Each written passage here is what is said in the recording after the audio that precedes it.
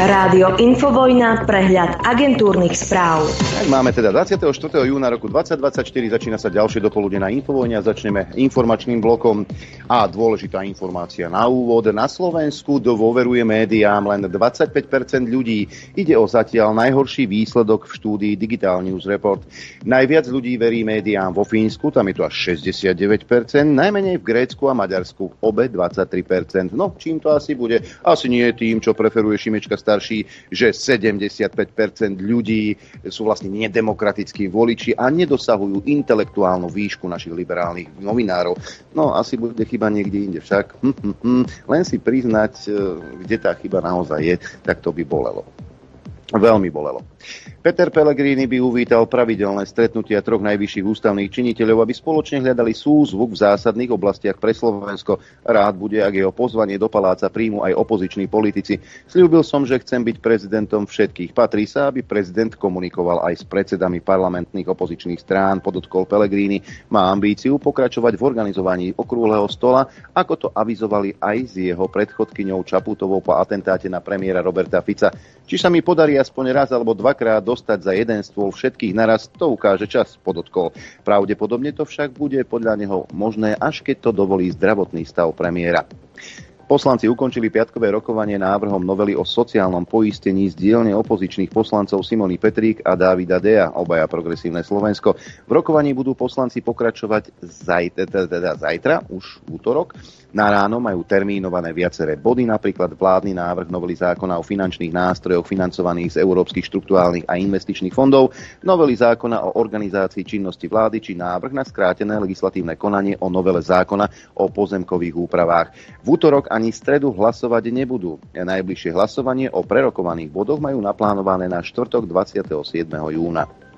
Minister obrany Robert Kaliňák pripustil, že Lex atentát bol šitý horúcou ihlou. Zaznelo to v diskusii sobotné dialógy na rádiu Slovensko v súvislosti s prípravou tohto zákona. Šéf rezortu však doplnil, že si je kvalitou zákona istý. Dodal, že na septembrovej schôdzi parlamentu sa opäť budú venovať dvom z opatrení v Lex atentát. Tie boli teraz stiahnuté. Cieľom je zlepšiť napríklad vymožiteľnosť pokút pri priestupkoch. Okrem toho majú v pláne riešiť aj to, aby samozprávy preventívne nezakazovali zhromaždenia oba obavy z postihov.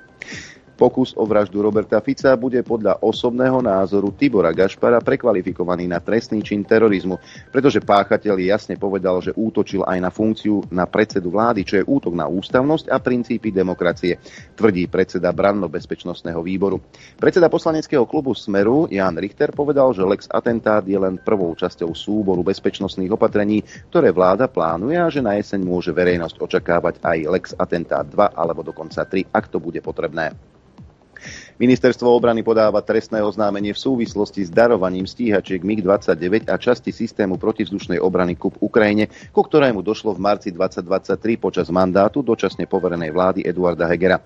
Štátny tajomník ministerstva obrany Igor Melicher v piatok potvrdil, že trestné oznámenie sa týka podozrenia zo spáchania sabotáže, zneužitia právomocí verejného činiteľa a poručenia povinnosti pri správe cudzieho majetku. Policajná inšpekcia prerušila trestné stíhanie v prípade úniku nahrávok z kancelárií niekdajšieho vyšetrovateľa Naka Jana Čurilu, ktoré mesiace púšťal na tlačových besedách Smer, píšu aktuality. Roberta Fica ani nevypočuli. Inšpekciu riadi nominant Matúša Šutaja Eštoka Branislav Zurian. Podľa inšpekcie sa nepodarilo zistiť skutočnosti, ktoré by oprávňovali trestne stíhať konkrétnu osobu za únik nahrávok policajtov a preto stíhanie v máji tohto roka prerušili. Dozorujúca prokuratúra zatiaľ neodpovedala na otázky, či s daným postupom inšpekcie súhlasila. Prokurátor môže uznesenie o prerušení zrušiť.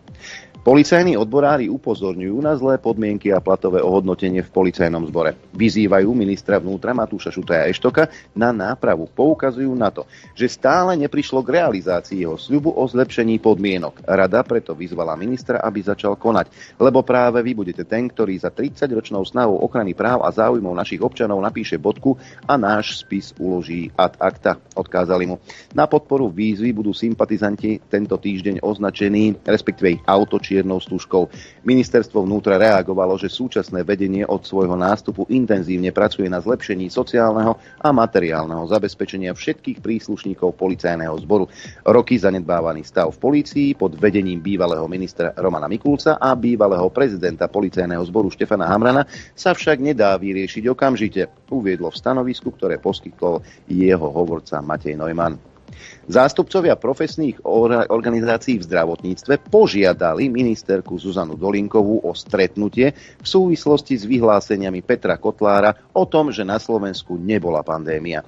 V otvorenom liste ju vyzvali, aby spoločne odsúdili spochybňovanie pandémie COVID-19, pretože okrem iného dehonestuje úsilie z všetkých zdravotníkov v náročnom období. No a apelujú na to, že treba veriť vede. No tak eh, neviem, či vede treba veriť, napríklad v prípade, lebo oni veria aj na 72 pohlaví, či aj to je vedecký poznatok. Aha, čarovné slovíčko, konsenzus vedcov. Spoločnosť Manavieska, prepojená na maďarskú vládu, ktorá kupovala na Slovensku historické budovy, už neplánuje získať ďalšie, tvrdí jej prokurista Tibor Rigo. Firma vlastní nehnuteľnosti v najmenej desiatich mestách a obciach. Aktuálne prebiehajú povoľovacie konania rekonštrukcií. Poďme do zahraničia. Počet obetí po útoku ozbrojencov v ruskom Dagestane stúpol na 15 policajtov a viacerých civilistov, vrátane pravoslávneho kňaza. Ozbrojenci útočili na cirkevné objekty, pravoslávny chrám a synagógu a inšpektorát dopravnej polície. Ruské úrady označili útok za teroristický čin a vyhlásili pondelok, útorok a stredu za dni smútku za, na pamiatku obetí. Dagestanské ministerstvo vnútra informovalo, že skupina ozbrojencov v meste Derbent začala strieľať v synagóge a kostole, pričom obe budovy podľa miestnych médií zachvátil požiar. Zároveň boli hlásené útoky na kostol a inšpektorát dopravnej polície v hlavnom meste Dagestanu Machačkale. Západ vyprovokoval vojnu na Ukrajine, povedal Nigel Farage. Podľa lídra britskej strany Reform UK sa tak stalo snahou o rozširovanie NATO a EÚ na východ v rámci cyklu predvolebných rozhovorov BBC s lídrami strán doplnil, že začiatok samotnej vojny má samozrejme na svedomí ruský prezident Putin. Podľa Faraža dali záväzky aliancie a únie Putinovi dôvod povedať ruskému ľudu, že po nás opäť idú a pôjdu do vojny. Moderátor Robinson ho následne sa pýtal na viaceré výroky, ktoré jeho oponenti považovali za kontroverzné, napríklad keď v roku 2014 označil práve Putina za svetového lídra, ktorého najviac obdivuje. Povedal som, že ho nemá mám rád ako človeka, ale obdivujem ho ako politického činiteľa, pretože sa mu podarilo prevziať kontrolu nad riadením Ruska, povedal Faráš. Túto vojnu sme vyprovokovali my. Samozrejme, je to jeho vino, dodal. No a prišli aj tvrdé reakcie na vyjadrenie Faráža. Je nevhodný na akúkoľvek politickú funkciu. Tieto slová mu adresoval minister vnútra Veľkej Británie James Cleverly. Cleverly dodal, že Faráž odzrkadľuje Putinovo odporné ospravedlnenie brutálnej invázie na Ukrajinu. Hovorca lejbristickej obrany strany pardon, označil Najžla za nespôsobilého pre akúkoľvek politickú funkciu v našej krajine. Nie je to ešte viesť serióznu stranu v parlamente.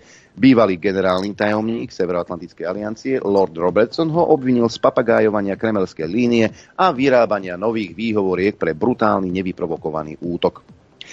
Americká lietadlová loď priplávala do Soulu na vojenské cvičenie. Uskutoční sa tak spoločné vojenské cvičenie, na ktorom sa okrem Američanov zúčastní aj Južná Kórea a Japonsko, ktoré zintenzívnilo svoj vojenský výcvik po tom, čo Rusko podpísalo zmluvu o strategickom partnerstve so Severnou Kóreou.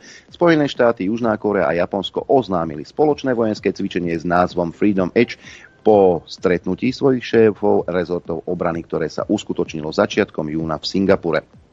Nesmieme dovoliť, aby sa z Libanonu stalo ďalšie pásmo gazy, vyhlásil generálny tajomník OSN Antonio Guterres. Varoval pred eskaláciou napätia medzi Izraelom, hnutím Hizbalách v južnom Libanone a mierovými silami OSN. Jediný unáhlený krok, jediná chyba môže zapríčiniť katastrofu, ktorá presiahne hranice krajín, no aj predstavivosti. Vyjadil svoje obavy z eskalácie Guterres. Iránska misia pri OSN v reakcii uviedla, že Hizbalách dokáže ochrániť svoju prítomnosť na hraniciach, ako aj samotný Libanon proti Izraelu Izraelu. Preto varuje, že zrejme nastal čas na to, aby sa tento nelegitímny systém sám zničil. Akékoľvek neuvážené rozhodnutie izraelského okupačného režimu s cieľom zachrániť sa môže uvrhnúť región do novej vojny, uviedla iránska misia na sieti X. Srbsko potichu navyšuje množstvo munície, ktorú predáva na západ, čo vedie k posilneniu obrany Ukrajiny, píše britský Financial Times.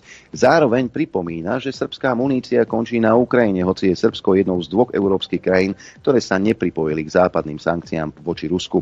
Srbský prezident Alexander Vučić podľa Financial Times túto sumu označil za v zásade presnú, teda tých 800 miliónov eur. Vec prezentoval ako obchodnú príležitosť a trval na tom, že sa vo vojne nepostaví na žiadnu stranu. Je to súčasťou oživenia našej ekonomiky a je to pre nás dôležité. Áno, vyvážame muníciu, uviedol Vučić v rozhovore. Rusko obvinilo zo zodpovednosti za ukrajinský útok na anektovaný Krym primárne Spojené štáty.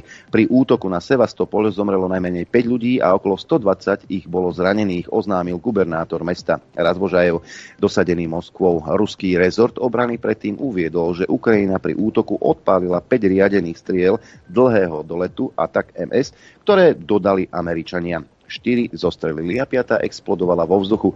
Kiev ani Washington sa zatiaľ nevyjadrili. Poďme na Ukrajinu. Druhý summit o Ukrajine by mohla hostiť krajina globálneho juhu, povedal poradca ukrajinského prezidenta Ihor Žovka. Kiev si želá, aby sa ďalší summit konal pred koncom roka. Dodal poradca s tým, že pozvať by mohli aj Rusko, ak by bolo pripravené zvažovať plán načnutý Ukrajinou. Máme niekoľko krajín, ponúkajúcich hostenie a môžem s vysokou mierou pravdepodobnosti povedať, že takýto summit by sa mohol uskutočniť v jednej z krajín globálneho juhu, uviedol zelenského poradca pre agentúru Interfax Ukrajina. Ukrajinská armáda môže použiť rakety dlhšieho doletu od USA na zasiahnutie cieľov v Rusku aj mimo frontových línií pri Charkovskej oblasti, ak koná v seba obrane. Uviedol to predstaviteľ amerického ministerstva obrany Ryder. Prezident Biden pôvodne zmiernil obmedzenie na použitie americkej munície Ukrajinou, aby dokázala ubrániť svoje druhé najväčšie mesto Charkov pred silnou paľbou ruských rakiet. Európska únia, a teraz dobre, dobre počúvajte, ako fungujú sankcie. Európska únia dováža z Ruskej federácie čoraz viac hnojív. Import močoviny sa oproti obdobiu medzi rokmi 2020 až 2021 zdvojnásobil Lacná konkurencia údajne vytláča domácich producentov z trhu, odstavila už 20% kapacít. Cenu močoviny určuje cena zemného plynu, ktorý Moskva aktuálne dokáže cenovo regulovať.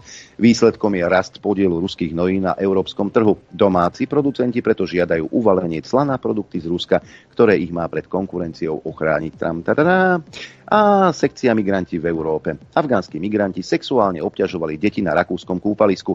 Polícia ich zadržala a hrozí im deportácia. Obaja muži vo veku 29 a 30 rokov čelia obvineniam zo sexuálneho obťažovania šiestich detí vo veku od 9 do 14 rokov.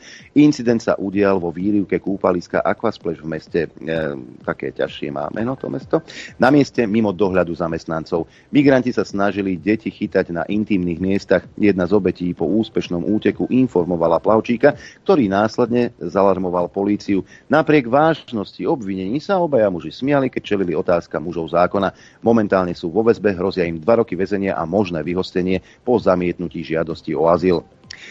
Poďme ešte na ekonomické oddelenie. Boeing má prúser. Dvaja astronauti uviazli na obežnej dráhe poruchy. Na lietadle Starliner spôsobil ventil.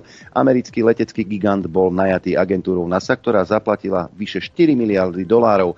Spoločnosť je v hlbokej kríze, je to hrozné, hovorí Rob Adlard, výkonný riaditeľ britskej spoločnosti Gravity Lab, ktorá sa zaoberá vypúšťaním kozmických lodí. Vesmír je super ťažký, ale kontrastuje to s úspechmi eh, firmy SpaceX.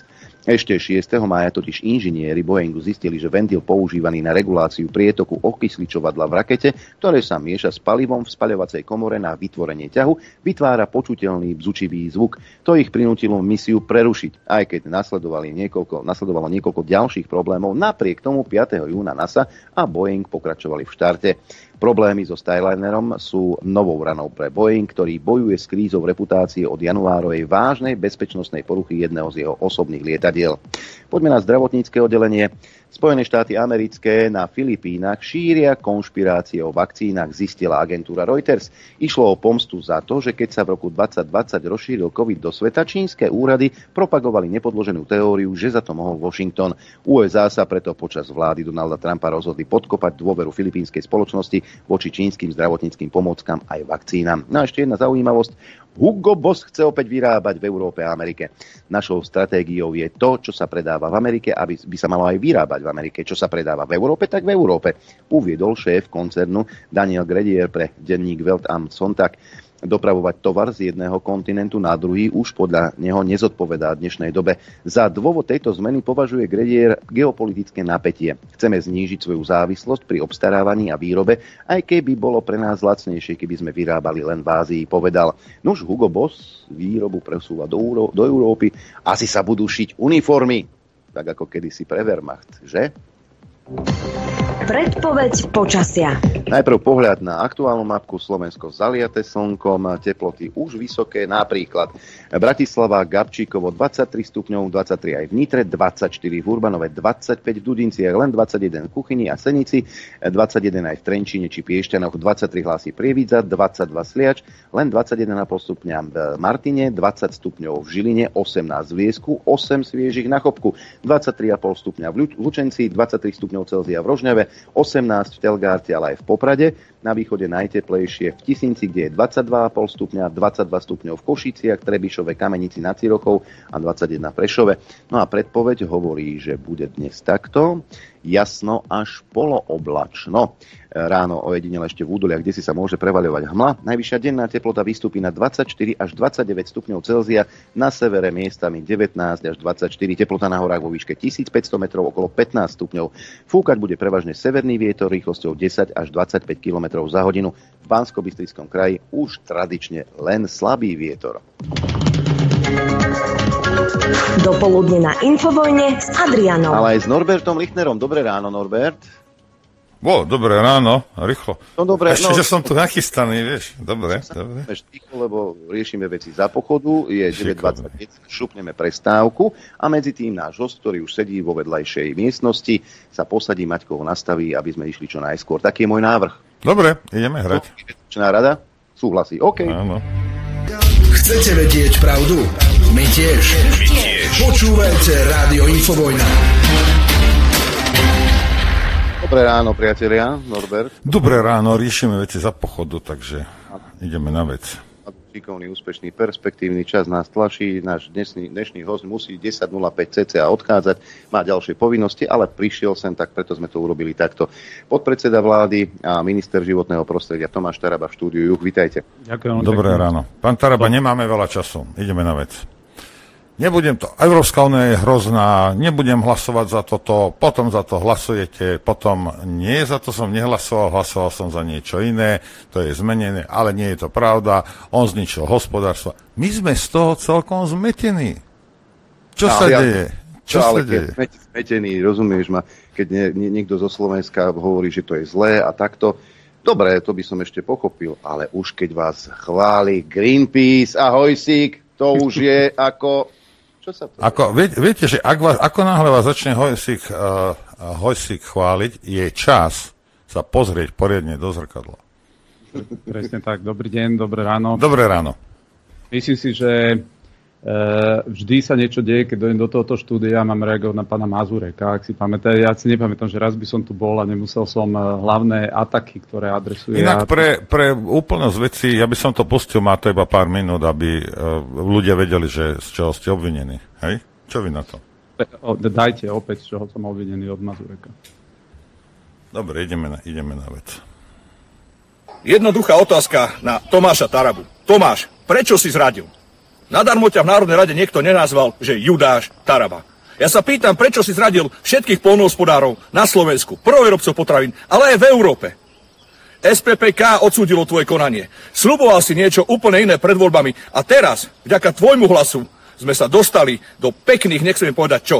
Normálne, keď som sa to dozvedel, tak som sa rozčúril. Milan, Tomáš, v marci si povedal, že Slovenská republika nepodporí nový návrh nariadenia o obnove prírody, pretože je zlý. Povedal si, že budeš hlasovať proti nemu a my sme sa potešili, že je konečne minister životného prostredia, ktorý nebude robiť nezmysly ako Budaj, ale naopak bude bojovať za slovenských poľnohospodárov. Nariadenie, ktoré prikazuje poľnohospodárom nezmyselné náležitosti a Slovenskú republiku bude stať obrovské finančné zdroje na to, aby sme splnili tie kritéria a dokonca dáva Európskej komisii obrovské právomoci karhať a trestať Slovenskú republiku, si ty nakoniec podporil. Hlasoval si zaň, aj keď si tvrdil, že budeš proti. Povedz mi, vydiera ťa niekto? Č- Pán Taraba, vydiera vás niekto?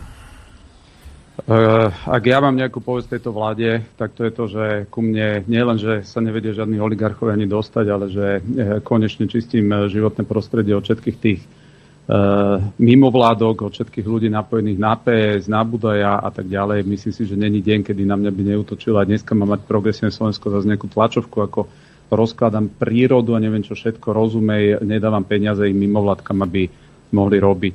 To, čo e, pre mňa je naozaj, toto je už normálne, že folklór a cirkus, že hnutie republika, najmä Mazurek so Sujom, vždy, ak majú nejaký terč, ak e, potrebujú likvidovať, e, by som povedal, politicky nejakého oponenta, vždy to je z národného spektra.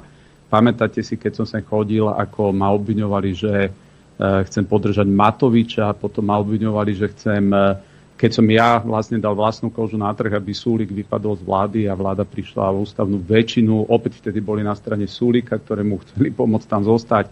Keď som dal návrh na odvolanie Ciganíkovej z výboru, jediný, kto ju podržal, boli oni. Takže ja nerozumiem, prečo títo páni aspoň nezavolajú. Podľa mňa už minimálny štandard je ten, že keby, keď idú natáčať na niekoho, tak aspoň zavolajú, opýtajú sa, ako to je a po prípade by získali nejaké informácie a nemuseli by sa takto... No ale prečo by museli, no, ak v tom majú jasno?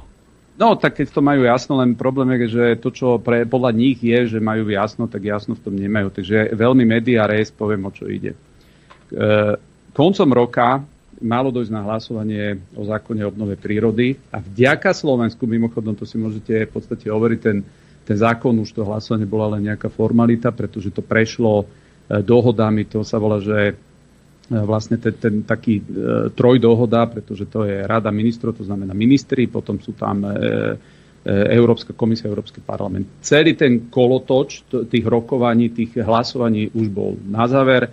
Ja som ako minister do toho len vstúpil, pretože to všetko bolo pred, v podstate vyjednané pred nástupom našej vlády. A napriek tomu, že pozícia Slovenska za Budajovcov a všetkých tých za Odora bola, že hlboko to podporovali, mimochodom to podporovalo aj Maďarsko do posledného kola, podporovali to podstate všetky vlády a ja som prišiel na tú rádu koncom roka a ja som povedal, že za toto nezahlasujeme. Tým pádom sa to ani nedostalo na bod programu a veľmi jasne som tlmočil, že pokiaľ nepríde k zmenám v tom zákone tak, že sa stanú absolútne vágne vo vzťahu k polnohospodárstvu, tak Slovensko za to nezahlasuje. Keďže nemali na to hlasy, pretože aj Maďari sa postavili proti, tak to nemohli ani formálne dať na hlasovanie, pretože vedeli, že hlasy na to nemajú. To znamená, môj prvý krok, ktorý bol, a to je to, čo v podstate v tom, v, tý, v tom hukavom videu títo dva chlapci opäť nepochopili, že ten dokument koncom roka, ako bol daný na hlasovaní, neprešiel aj vďaka Slovensku a môj v podstate jeden z prvých krokov ako nového ministra, ktorý prišiel do Bruselu, bol, že som sa postavil proti tomuto. Druhá vec, ktorá je, my sme veľmi jasne deklarovali, a teraz aby ste mali predstavu, o čom sa bavíme. Slovensko kvôli mojim predchodcom má 29,8% nášho územia, územia v nejakej forme ochrany, to je tá tzv. Natura 2000, kde keď raz dáte nejaké územia, tak tie územia už odtiaľ neviete vyhodiť, preto jedine, keby ste len dokázali, že nejaký vedecký omyl tam bol a 29,8% slovenského územia vie, je v nejakom stupni ochrany, za ktorý nám nikto nič neplatí. Patríme medzi najväčších premiantov ochrany v celej Európskej únie a samozrejme, že ostatné štáty radí na Slovensku si Uh, ukazovali, áno, prikazovali nám toto chránte, tamto chránte, ale nikto ani cen nám nedal. A to, čo je výsledok, tohoto dokumentu, že ten dokument od roku 2027 má predpokladať, že všetky štáty, ktoré splňajú ten stupeň ochrany, to znamená to, čo nám v minulosti bolo nakázané, budú mať otvorené obrovské finančné zdroje, pretože nový finančný rámec od roku 2027 má e, vytvárať predpoklad preto, aby tie štáty, ktoré toto splňajú, mohli si na túto ochranu, ktorú už na Slovensku máme a ktorú nevie znížiť ani Mazurek, ani nikto, aby sme na ňu vedeli čerpať finančné zdroje. Inak povedané, aby som to dal do absolútne drobnosti, ja som si pozrel aj stanovisko polnohospodárskej komory, ktorá hovorí dve veci. Poprvé, v tom stanovisku hovoria, že tie najhoršie veci odtiaľ vypadli a druhá vec, že ten dokument je príliš vágný. A práve tá vágnosť je to, že je vlastne nevymožiteľný z pohľadu polnohospodárstva a preto všetky tie námietky, ktoré mali polnohospodári, francúzsky, nemecký, španielsky, portugalský, z toho dokumentu tie najradikálnejšie veci vypadli vďaka Slovensku. A dnes, kto nezahlasuje, keby som ja za toto nemal hlasovať, tak by som len odrezal od roku 27 Slovensko od veľkých finančných zdrojov na vec, ktorú my dnes máme. My sme jediní, ktorí toto splňajú. V živote nám ani cent nikto nedal. Dobre, ja, ja budem vás prerušovať, pán Taraba. Ešte jednu no. vec. A to, že som v marci, to, že som v marci, áno, ten dokument sa finalizoval ešte v apríli. To znamená, to, čo nám sa podarilo, že uzavretý dokument sa musel znovu otvoriť a v podstate a z toho vznikla tá vec, ktorá je. A to, čo chcem ešte potvrdiť, pozrite, Podarilo sa, e, podarilo sa to, čo tu nevedeli 10 rokov vybaviť. Podarilo sa schváliť náš nový zákon v Bruseli ohľadom odstrelu medveďov.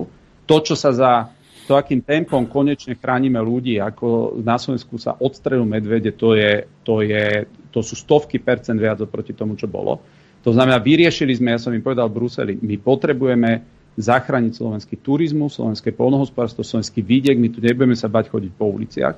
To znamená, toto sú veci, ktoré konkrétne výsledky my sme donesli. A viete, keď niekto si niečo nenaštuduje, keď niekto ani nevie, mimochodom ten dokument má byť oficiálne zverejnený, tuším 20 dní po hlasovaní, to znamená, on ani, ani, ani neexistuje v zmysle tom, že preto ja ani nemôžem im vyniť, že to nečítali, pretože ani nemajú kde čítať. A to, k čomu sa vyjadrujú, tak je vec, ktorá koncom roka práve vďaka Slovensku a Maďarsku išla na znové rokovanie. Počúvajte, budem vás prerušovať nie preto, že by som mal dybákový syndrom, ale preto, že ako ono, viete, veľa rozprávate a možno mnohí ľudia, vrátane mňa, čo sme takí hlupejší, a stratia niť. Pokiaľ chápem dobre, hej, predošlej vaši predchodcovia sa snažili urobiť toto zo Slovenska skanzen, hej, a nič sme z toho nemali, nič sme s tým nemohli robiť, nemohli sme to využívať a nedostávali sme na to ani peniaze. Teraz s tým, že vy ste za toto zahlasovali, tak aspoň na, ten, na tú hrôzu, čo tu urobili, dostaneme peniaze. Chápem správne? Úplne presne. Dobre. Z, ale to ešte neznamená, že to nepoškodí polnohospodárov, predsa. Takto. E, polnohospodárov to nepoškodí, pretože, a to, čo, to, čo je pointa, my dnes máme e, chránených v podstate, dva, e, ako som povedal, 29,8%. A to, čo je hlavný cieľ toho, že každý štát by mal chrániť na svojom území, 30%, to znamená Slovensko je jediný štát. E, volal som včera s českým ministrom životného prostredia, pýtal som sa, koľko územia chráni Česká republika. On povedal, že oni majú 26%, že tie 4% ľavou zadnú oni dajú. To, o čo teraz ide, my do dvoch rokov, aby ľudia vedeli, my znamená životné prostredie a pôdohospodárstvo, majú vytipovať lokality, na ktoré chceme, aby v budúcnosti sa mohli tie peniaze brať. A v tých lokalitách upravíme e, ochranu prírody a polnohospodárskú činnosť tak, aby sa na tie e, činnosti a na tie lokality mohli brať extra peniaze a každý jeden štát, ktorý za tento do upravený, opakujem ešte raz, zásadným spôsobom upravený dokument hlasoval, dal podmienku, že ten dokument bude v roku 2033, pretože prvý nejaký milník je 2030 a ten milník my už nesplňame absolútne, že s prehľadom. On bude, on bude opäť vyhodnotený v roku 2033 a základná požiadavka je každého jedného štátu, že majú byť na to vyčlenené významné finančné zdroje a môžem povedať, že sa dnes bavia tie štáty, a to je mimo nás, o tom, že by to mohlo byť až 10% celkového rozpočtu Európskej únie. Tak si viete predstaviť, aké obrovské miliardy do tejto časti pôjdu. A teraz o čo ide?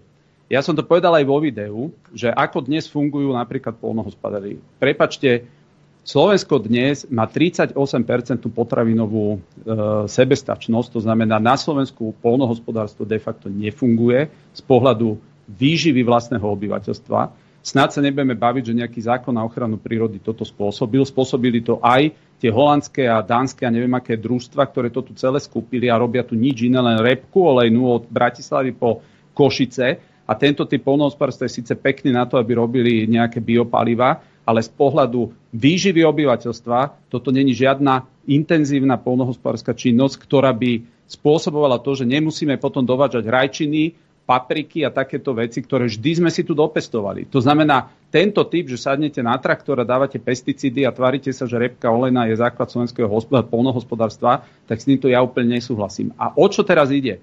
Dnes to funguje tak, že máte napríklad polnohospodárskú nejakú pôdu a na tej pôde máte dva stromy, jeden veľký kameň a máte tam povedzme tri kríky. Dnes prídu inšpektori z e, platobnej agentúry, polnohospodárskej platobnej agentúry, zoberú mapu, urobia vám, zmerajú vám, aké tiene robí ten strom, aký má e, záber ten veľký kameň, aký má záber ten krík a povedia vám, že keď ste polnohospodár, musíte vrátiť finančné prostriedky za tieto plochy, pretože na nich nič nepestujete.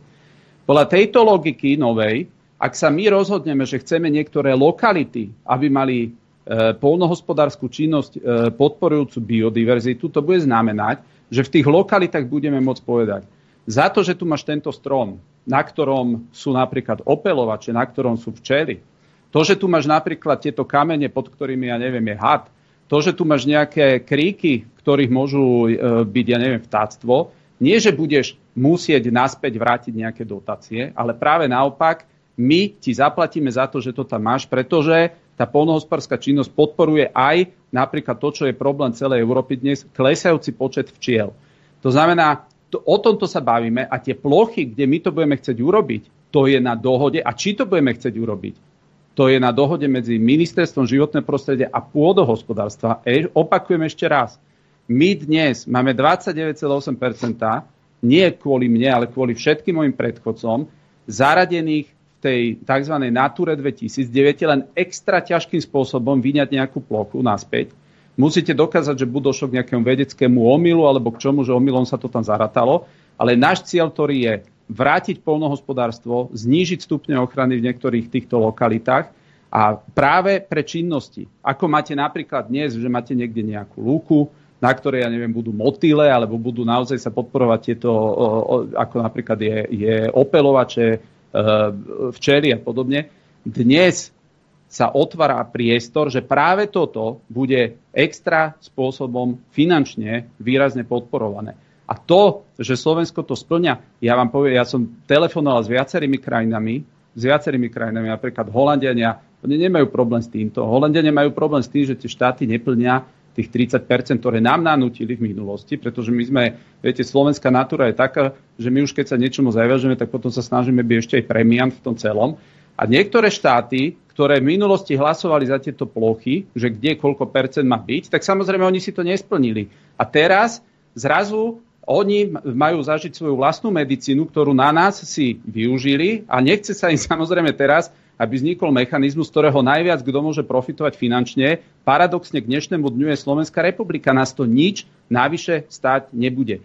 A to, čo sa nazýva, že to je, že to je vágne, no práve tá vágnosť je výsledok tých dohôd, že to je tak vágne voči polnohospodárstvu, že to je v podstate bez dopadu, výrazného dopadu na polnohospodárstvo a nazýva sa to normálne pojmom flexibilita. Počkajte, pojem... hovoríte, že je to tak vágne, že je to nevymožiteľné?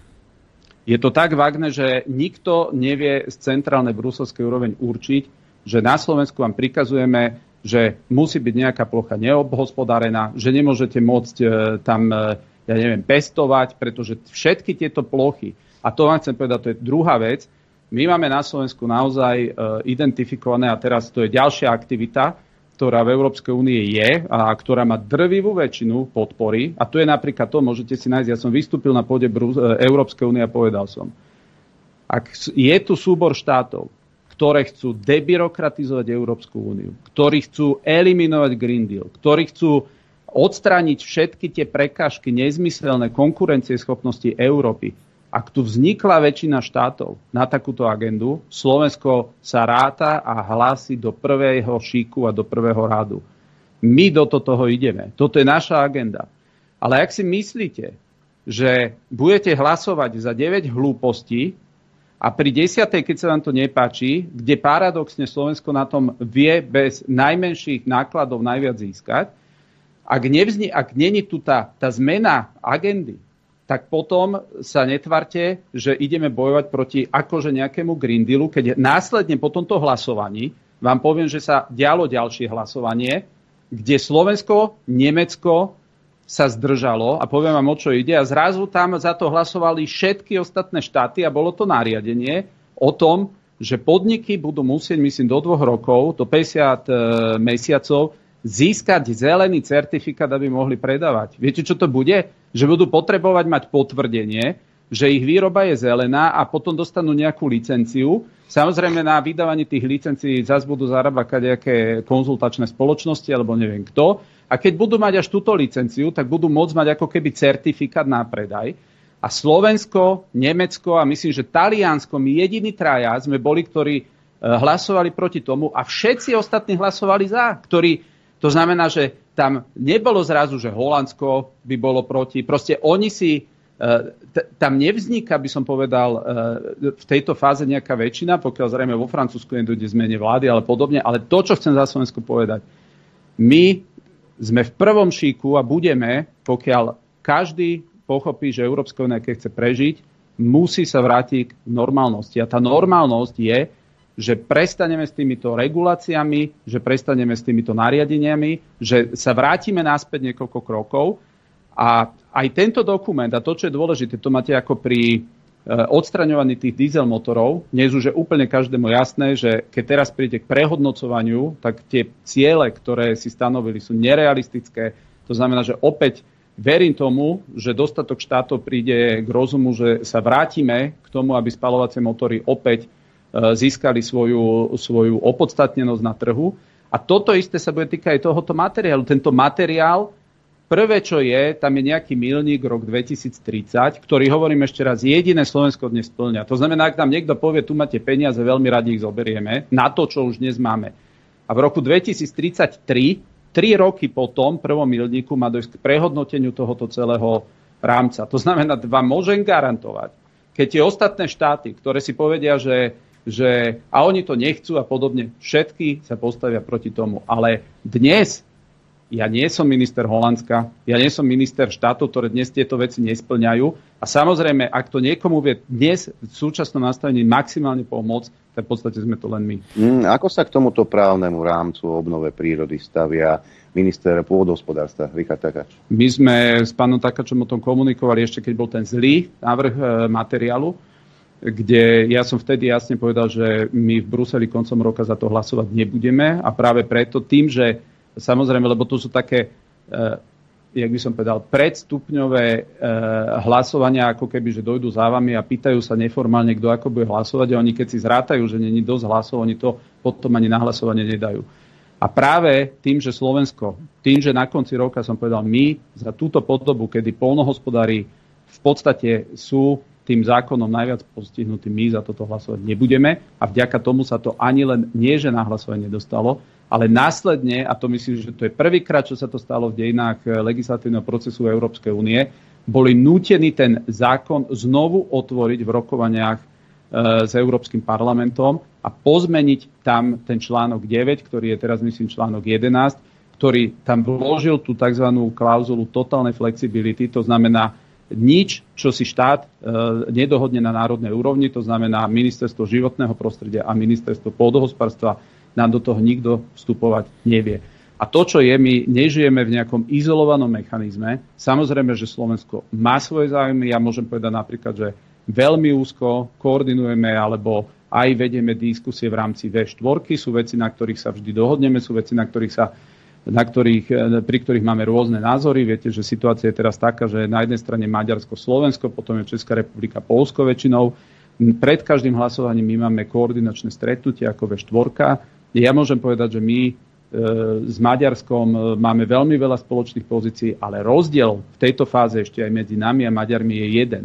Maďarsko má zastavené eurofondy. My zatiaľ nie sme v pozícii, že by sme eurofondy e, mali zastavené. To znamená, že samozrejme Slovenská republika vie ako keby v týchto veciach sa pozerať na to aj tak, že čo my z toho mať budeme. Lebo ak máte zastavené eurofondy, a viete, že tak či tak, ak niečo prejde a nebudete z toho mať, mať finančné prostriedky, tak potom si môžete unblock povedať, viete čo, my nebudeme za nič nikdy hlasovať, pretože najskôr nám uvoľníte eurofondy a potom môžeme za niečo hlasovať. Takže tento rozdiel, ktorý medzi nami a zatiaľ Maďarskom je, je dosť podstatný v tom, že iba tento rok napríklad na Slovensku majú ja poviem z môjho rezortu, veď my sme od januára spustili za stovky miliónov eur odkanalizovania projekty 500 miliónov eur tento rok má ísť na odkanalizovania, na vodovody. Minulý rok bolo minus 430 miliónov, čo nevyčerpali eurofondy naši predchodcovia. Takže tie zmeny sú dosť podstatné a pokiaľ Slovensko ten prísun eurofondov má, tak samozrejme, že my, keď vieme z niečoho profitovať a, a brať peniaze, boli by sme hlúpi, keby sme to nerobili. A to, že tí pred nami hlúpi boli, že to mohli a ani to nečerpali, tak to považujem za jeden naozaj z najväčších problémov, pretože ak máte takto na stole tie peniaze a neviete ich využiť, tak je to zle. Takže opakujem ešte raz na Slovensko toto nebude mať prakticky žiaden negatívny dopad, okrem toho, že sa vieme dostať k obrovským finančným prostriedkom. Pán Taraba, ne, spýtam sa vás takto. Ako je možné, hej, alebo aj vôbec, jak sa dá pracovať v takom prostredí, ale ako je možné, že tie, tie štáty nehlasujú konzistentne? Raz tak, raz, raz tak, raz tak. Viete, že nejde, povedzme, že dobre, sme proti Green Dealu, tak tieto a tieto veci nepodporíme. Ale niektoré podporia, niektoré nepodporia, šialenosti podporia pre, prečo, sú, prečo nie sú konzistentní? Viete, čo ja si myslím, že, že konzistentnosť nastavenia proti Green Dealu má dnes menšina štátov Európskej únie, ešte aj keď sa to mení, lebo už vidia, a z toho by som, viete, my keď nechceme spáchať rituálnu sebevraždu, Európska únia v zmysle výkonnosti nášho hospodárstva, našej ekonomiky, my budeme musieť vrátiť priemysel a rozvoj priemyslu naspäť na európsky kontinent. To je základ. Sú tam veci, ktoré na prvý pohľad môžu znieť niekedy ľúbivo. Teraz vám poviem opäť. E, Európska únia si uvedomila, že áno, my tu gňavíme priemysel a z Číny sem chodia e, oveľa e, kontaminovanejšie produkty a sú predávané lacnejšie. Poviem príklad, my sme museli zavrieť Slovalko, ktoré bola jedna z najčistejších fabrik v Európe a dovážame 4 krát E, špinavšie vyrobených hliník mimo Európskej únie. Teraz najnovšia Európska únia došla so zákonom, ktorý znie na prvý pohľad úplne, že wow, že uvalia clá na špinavý hliník a na špinavú ocel a na špinavú mimo Európskej únie. A teraz si predstavte, my sme tam našli, ja už som to riešil aj s eurokomisárom, ja som to nadhodil teraz v Bruseli, keď som bol, Vzhľadom na to, že ako minister mám povesť, že sa stretávam aj s priemyslom, že nie som ideologista, že nie som fanatik, ktorý by, ktorý by hovoril, že, že e, čokoľvek, čo zabije priemysel, ochráni životné prostredie, pretože ja tvrdím, že iba bohaté štáty vedia chrániť životné prostredie. Nepoznám chudobné štáty, ktoré by vedeli životné prostredie chrániť. Preto mojou absolútnou prioritou je ochrániť aj slovenský priemysel. A preto za mňou chodia veľké spoločnosti aj mimo územia Slovenska, pretože nevedia nájsť podporu vo svojich vlastných členských štátoch a prosia mňa, aby som nadnášal niektoré témy v Bruseli. Ja poviem, teraz som v Bruseli im ukázal jednu vec. Predstavte si, oni v tom zákone, ktorý sa má od 1.1.25 implementovať, je tam taká veta, že za špinavý hliník sa nepovažuje hliník, ktorý je recyklovaný na území Číny. To, znamená, každý jeden hliník, čo dojde do Európy, bude recyklovaný. Deklarovaný, že je recyklovaný. A výsledok tohoto celého bude, že oni tými clami zvýšia cenu hliníka na európskom kontinente a tie čínske produkty budú ešte s väčšou maržou zarábať, pretože ukážte mi, kto im vyvráti tým Číňanom. No ale povedzte mi, nie je toto cieľ? Lebo mne to pripadá ako cieľ, nie ako hlúposť. Pozrite, ja vám poviem takto, že bol som v OECD, to je e, Organizácia pre hospodársky rozvoj a spoluprácu. Ja som tam vystúpil, tak jak rozprávam tu, teraz s vami, tak som rozprával aj tam.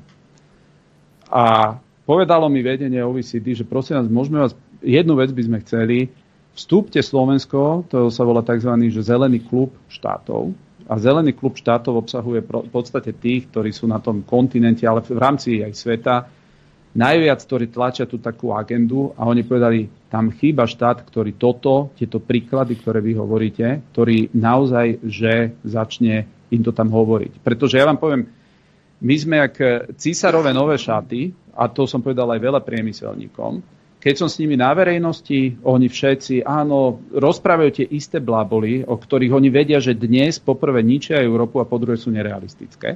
A potom sa zavrieme za dvere a začnú rozprávať úplne naopak. Začnú mi rozprávať katastrofické scénáre, kam tá Európa ide. A ja hovorím, prečo toto nehovoríte na verejnosti. Čo sa boja? Politicky korektný. Prečo? A oni, Viete, a v tomto je rozdiel medzi tým polnohospodárom, ktorý nemá čo strátiť, ktorý sadne do toho traktora a tak ako na konci roka zaplavili celé európske ulice kvôli tomuto zákonu napríklad na obnovu prírody. A práve dnes vidíte nikde žiadne demonstrácie tých polnohospodárov, ktorí na konci roka demonstrujú, pretože každý, kto tomu rozumie, vie, že dnes ten zákon na ochranu prírody nezasahuje polnohospodárstvo spôsobom, ako na konci roka sa to deklarovalo. A toto je, tá, toto je ten rozdiel a ja si to pripisujem ako veľký zahranično-politický úspech, že Slovensko bolo kľúčový hráč, ktorý prinútil Európsku komisiu a parlament a radu ministrov opäť aj s Maďarskom a s ostatnými ten dokument otvoriť. A títo ostatní, viete, veľkí priemyselníci sú oveľa viac e, politicky korektní, pretože chcú mať dobre vzťahy s vládami, nechcú ako keby im podkopávať nejakú ich, ale ja hovorím, dámy a páni, keď neurobíte to, čo polnohospodári. Pokiaľ mňa za mňa nevypnete na 3 dní fabriky, môžeme tu rozprávať, aká ocel je špinavá. Vypnite fabriku na ocel a veľmi rýchlo každý pochopí, čo bez ocele svet môže dnes nič. To sú základné veci, ktoré keď nebudú fungovať, ktoré keď nebudeme vyrábať, tak sme totálne kolóny odkazaní na, jak, jak nejaká treťokratná krajina, na elementárne základné veci, ktoré veľmi rýchlo tu každý ten slnečkár víc pocíti, že čo to znamená tieto produkcie zarezať na európskom kontinente. A preto to, čo chcem povedať, sa to pohybuje, posúva sa to. Teraz napríklad riešim, e, došli za mňou z, Česky, z Českej republiky veľké chemické firmy, pretože niekto dostal nápad v Bruseli, že chce zarezať e, výrobu jednej chemickej látky, ktorá je ale vo všetkých drevených dýhach a paradoxne zachytáva CO2 najviac z tých trvalo do toho a bez toho neviete vyrábať najnovšie dýhy, na, ktoré idú na nábytok. A oni hovoria, nič ostatné, čo je na trhu, nedokáže tak ekonomicky, to znamená všetko nábytok vyrobený na európskom kontinente už bude nepredateľný, znova podporíme čínske produkcie. To znamená to, čo chcem povedať. Každý si môže byť istý, že ja do, viem narátať do 5. Tá mozaika je oveľa širšia. Platí to, že ak chcete presadiť čokoľvek, vy musíte byť za stolom, musíte byť za zbraní, za nie len takého taraja, ktorý len je nie, nie, nie, nie, ale ktorý vie jasne povedať, čo je náš cieľ. A náš cieľ a môj osobný cieľ je, aby sa vrátila Európa k zdravému rozumu. Ja nemám problém, a otvorene to hovorím, ja nemám žiadne, by som povedal, E, petolizackú e, mentalitu a každý to od mne vie. To znamená to, ako ja artikulujem naše pozície v Bruseli, každý o tom vie. A keď niečo chcem, tak to poviem, ustúpime v tomto a očakáme od vás tamto. A to, čo sa dnes pri tomto, e, jak by som to povedal, ja nerozumiem jednej veci, že podľa mňa ak niekto chce atakovať za každú cenu, veď ja si to pamätám, keď Martina Šimkovičová nastúpila. Kto natáčal prvé videá proti ním? Zas to, bolo, zas to boli títo dvaja chlapci, ktorí hovorili, pozrite, stále sú dúhové relácie, stále je toto, tamto. Odmietali tej, tej, tej ministerke nechať elementárny čas na to, aby pochopili, že ona musí zmeniť zákony. Ten parlament musí nejaké zákony zmeniť, veď my nie sme zase krajina, kde neplatia zákony a keď raz niečo zákon vyžaduje, tak ho musíte zmeniť. Viete, a v tomto sú neferové tie útoky, že miesto toho, čo my musíme od rána do večera bojovať s nejakými liberálmi, potom musíme bojovať s mainstreamom a potom ešte máme vyvrácať nejaké útoky ľudí, ktorí veľmi dobre vedia, že zavadzajú. Na dva, na tri dní narobia vždy okolo toho halo, ale, ale pravda, e, hovorím, vždy vyjde v tejto veci najavo. Takže ja chcem povedať, my, čo ako malý štát, ktorý má nejaký, nejaký minimálny hlas, ale ho máme, tak využívame tie, ten, tú pozíciu pre Slovensko, ako sa dá. Dve veci. Pred voľbami ste chceli prehodnotiť zonáciu e, národných parkov. Súvisí to aj s týmto, s týmto schváleným zákonom, alebo ako to nazvať? E, zonáciu národných parkov v podstate e, prehodnocujeme vo všetkých, kde sa dá. E, to, o čo ide, nie sú ani tak, že hranice e, parkov, ale aby sa tam vrátila činnosť. Toto by som povedal, že toto je kľúčové slovo. To znamená, aby tam neboli subjekty, ktoré chcú vykonávať aktívnu e, napríklad činnosť manažmentu lesov a dnes nemôžu, lebo niekto im povedal, že nemôžu to tam vykonávať.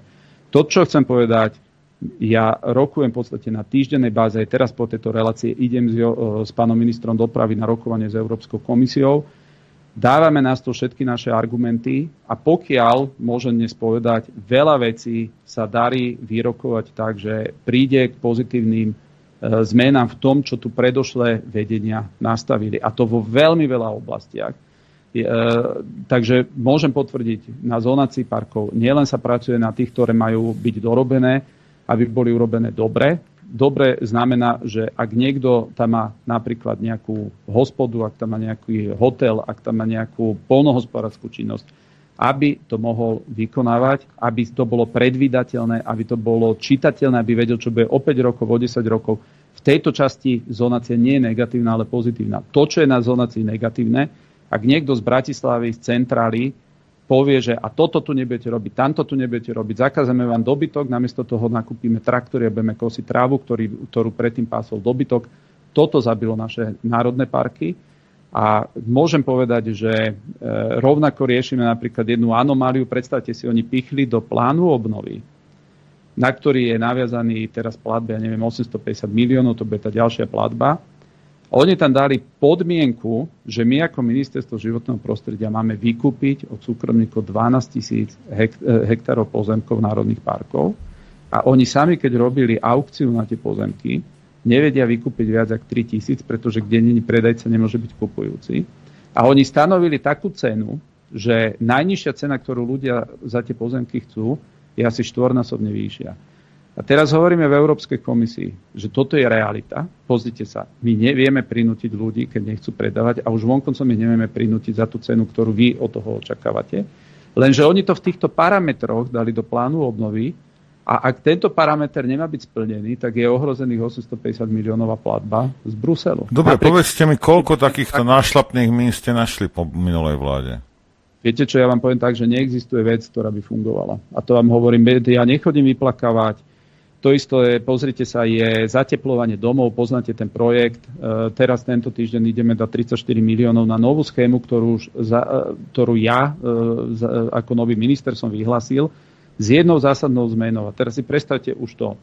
Budaj všetky zateplovania domov vyžadoval na to energetický certifikát. Na Slovensku je 140 ľudí, ktorí vydávajú tie energetické certifikáty, kde vám niekto dá pečiatku a povie, ak si zateplíte dom, ten dom má nižšiu energetickú náročnosť. Každá vec, každá samozrejme má logická vec, preto sa to zatepluje, lenže ak nemáte tento papier, ktorý vám potvrdí, ktorý už mimochodom stojí vraj 700 eur na trhu, hm. tak nevedia vám dať tú dotáciu. A dnes máte 10 tisíc žiadostí a z toho asi polovica tí ľudia nevedia sa k tomu certifikátu dostať, ktorý tvrdí vlastne, že keď prší, tak cesta je mokrá, asi niečo také. Hej.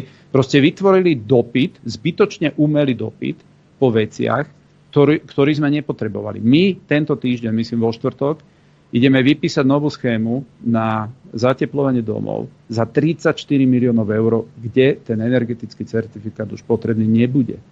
To znamená, toto je ten rozdiel a oni boli tak posadnutí, by som povedal, tým, eh, tým, že všade oni videli, oni aj vo vlastných hrách, všade videli zlodejinu, že na Slovensku potrebuje toľko papierov, že manažovanie týchto vecí, každá jedna vec vás stojí niekedy viac, ako je hodná toho samého. Ja som sa pýtal v Čechách, oni povedali, pozrite, my máme vyratané, že nejakých 1,2 tuším percentami hovorili, eh, je miera defraudácie. Pre nás manažovať celú túto kontrolu je náročnejšie ako miera tej, to, že niekto, ja neviem, zoberie nejakú zálohu a potom to nezateplí.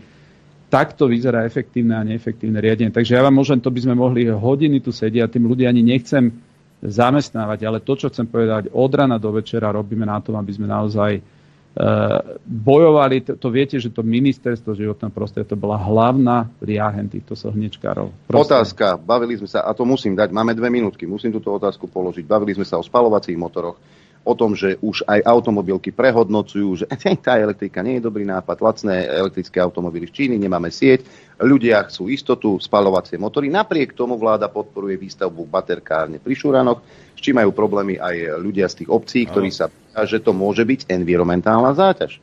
Akú to má potom logiku? Že ideme stavať baterkárne tu na území Slovenska. No tak toto, uh, myslím, že toto je prvá baterkáren, ktorá na Slovensku má ísť. Maďari budú mať 5 Eh, je to ten trend, ktorý je, ja len poviem jedno číslo, ktoré sa mi dostalo, aby ste mali predstavu, že do akej eh, pásce sa Európa dostala. Všetci sa chcú odkloniť od tých fosílnych palív a všetko presmerovať na elektro v podstate zdroj. Keby sme mali elektrifikovať európsky priemysel, iba chemický európsky priemysel, tak vo OECD nám ukazovali, že dnes v Európe tuším 140 jadrových reaktorov a museli by sme ich mať 850, aby sme len zmenili e, napájanie, zdrojové napájanie chemických fabrik v Európe. To nehovorím o tom, že ne, nezvláda to celá tá prenosová sústava. To, pokiaľ ide o výrobcu elektrobatérií, my ako Slovensko máme pozíciu, že nenaháňame veľmi tieto investície. Ehm, skôr... To znamená, že nedostávajú výhody ako ostatní? Takto. To, čo, o čo však ide, aby sme rozumeli, e, sú niektoré automobilky na Slovensku, ktoré tvrdia, že potrebujú na to, aby v budúcnosti na Slovensku zostali vyrábať auta, potrebujú v nejakej určitej svojej blízkosti mať aj zdroje, ktoré vyrábajú autobatérie. Stane sa, že toto vám tvrdila Kia. A e, to, čo sa môže stať, že e, takto to v minulosti napríklad bolo, ja vám poviem konkrétny príklad, pri ktorom som teda bol a ktorý som aj ja riešil ešte keď som pracoval na strategických investíciách. Došiel e, za nami svojho času Sony v Trnave a povedali, že odchádzajú do Maďarska, pretože výrobca LCD panelov ide do Maďarska a že oni musia byť blízko tej fabriky. A na poslednú chvíľu sa nám podarilo e, zvrátiť to, že ten výrobca LCD panelov zostal na Slovensku a tým pádom e, Sony neodišiel z Trnavy do Budapešte, ale išiel do Nitry, pretože zostal v blízkosti. To znamená, ak my vieme pri niektorých prípadoch, že ak nejaká investícia by sem nedošla, mohlo by dojsť k ohrozeniu ďalšej produkcie automobilov na Slovensku, tak samozrejme v rámci tohoto reťazca, aj napriek tomu, že aj ja tvrdím, že výroba autobatérií do budúcna bude výroba s nízkou pridanou hodnotou, lebo tam tá konkurencia bude enormná. Ale rozumiem tomu v koncepcii tom, že aby sme zastabilizovali existenciu tých fabrik na Slovensku, ktoré vyrábajú tie ostatné veci, Takže napríklad v tomto duchu aj ľudia budú musieť pochopiť, že aj priemysel nám hovorí, že musíme postaviť... Pán Tarava, toto je všetko v poriadku, má to logiku, hej, ale čo, na, o čo nám ide, aby do týchto batierkaren, kdejakých somarín sa netlačili peniaze daňových poplatníkov. Však keď si to oni chcú, ten priemšek nech si to robia. Rozumiete? Lebo kto to bude sanovať? A, a vieme, a vy tiež predpokladáte, že celá, celá elektromobilita klakne, lebo však, lebo je na ceste dole. Hej? Kto bude sanovať tieto investície zo strany štátu? Zase takto, ľudia?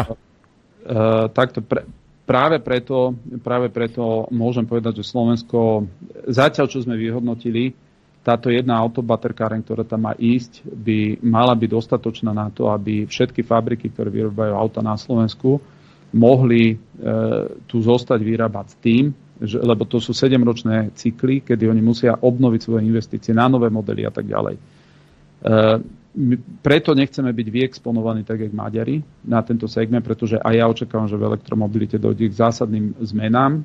Myslím si, že v nejakej podobe to fungovať bude, ale nie vôbec v takých rozmeroch a škálach, ako sa predpokladalo. A samozrejme, že považujeme to za, za investíciu, ktorá v poriadku na Slovensku bude. Dokonca aj dnes ja mám s vedením spoločnosti E, stretnutie, e, pretože aj tieto environmentálne otázky budeme dávať hneď od začiatku na stôl. Toľko podpredseda vlády, minister životného prostredia Tomáš Taraba. Dohoda znela jasne, prekročili sme to o 3 minúty. Ďakujeme a tešíme sa na stretnutie. Ďakujem pekne. Čo ja viem, v lete, na jeseň. Kedykoľvek. Ďakujem vám pekne, držte sa. No. Ďakujeme. Pekný my, to, my to ideme predýchať. Áno.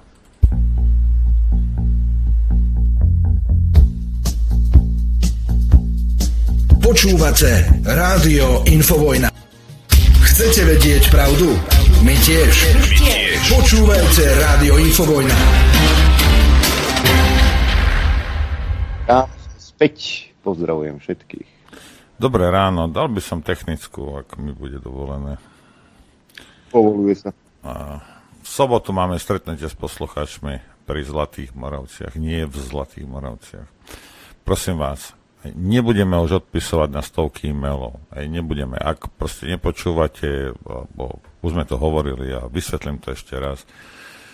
A v hornej lište u nás na stránke tej čiernej vedľa Telegram kanálu je.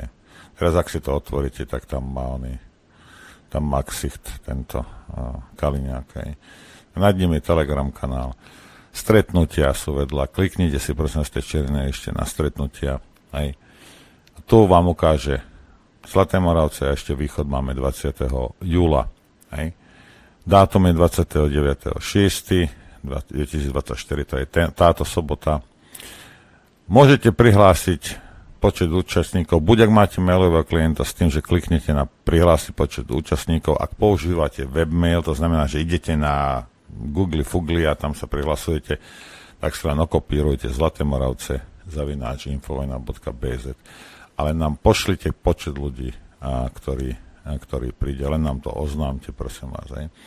Miesto je, keď sa pozriete, Zlaté Moravce, tam je napísané Motore, Zubor, Volkovce, dobre, keď ani tak nevieš, zadi na to myšou, červená to, klikneš na to, hej, a otvorí sa ti mapa, kde presne toto je, hej, toto miesto.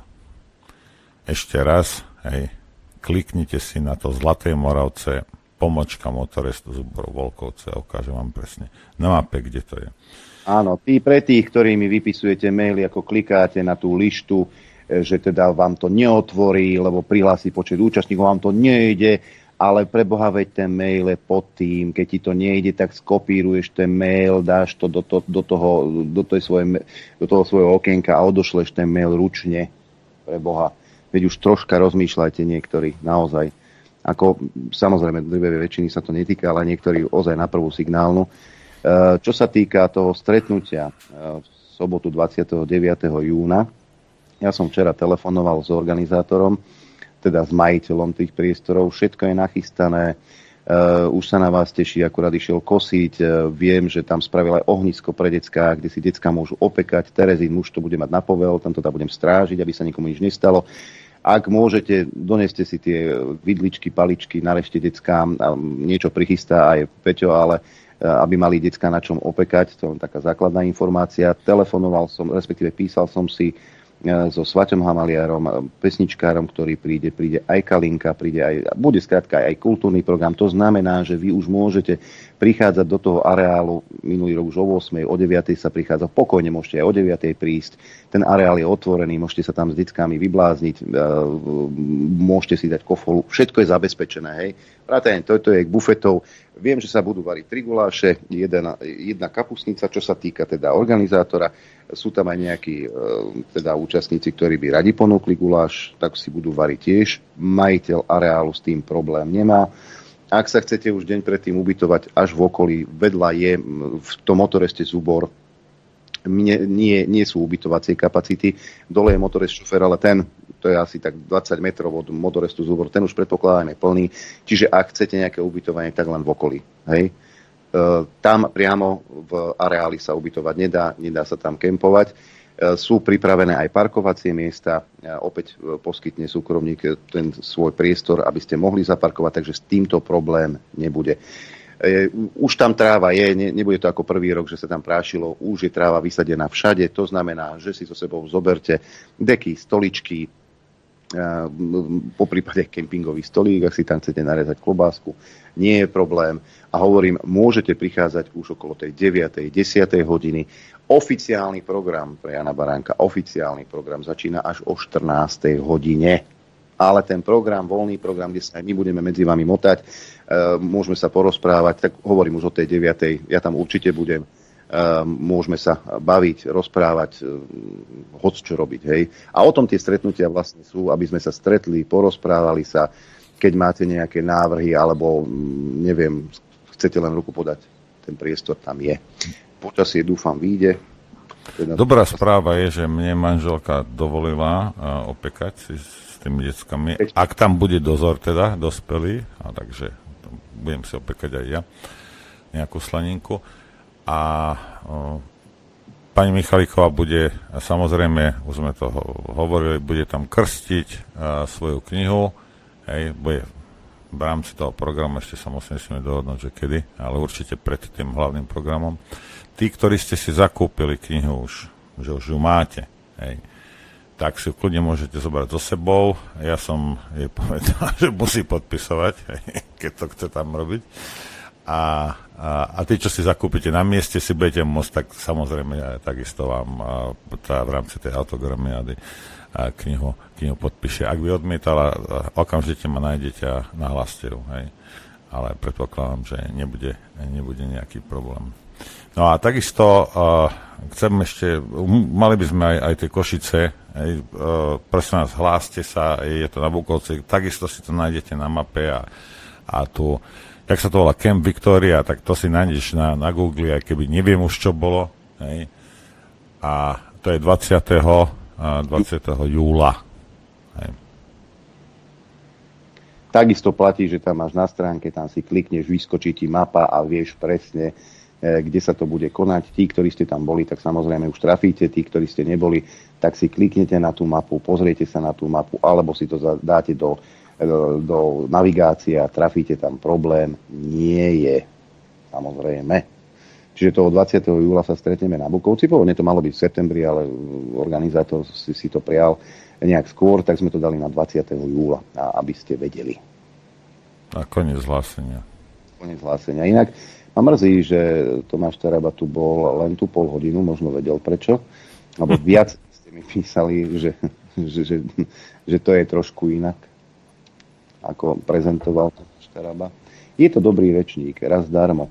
Ja tu mám článok eh, od eh, pána Kajzera z Echo 24, a približme si zhruba, že o čo ide. V pondelok do legislatívy EÚ pribudol dôležitý kus tzv. právny rámec o obnove prírody. Ten členským štátom nariaduje prírodu vo väčšom rozsahu uvádzať do pôvodného stavu, kam si pred modernú, preboha, my sme hospodárska krajina už 300-400 rokov, kam to chceme posunúť, do prvohôr. E, cieľovým stavom je mať takto opravených 20% plochy Európskej únie, čo zahrania aj nedotknuté kusy prírody. Riekam sa budú rozvoľňovať korytá. No tak tu sa zamyslíme, že ako to Slovensko bude robiť, keď drvivá väčšina riek na Slovensku je regulovaných, vrátane váhu, či nitry, alebo ipľa, alebo hrona. Hej. Čo, odkopeš brehy s bágrami a máš to, nie? A už sa hej. môže vylievať.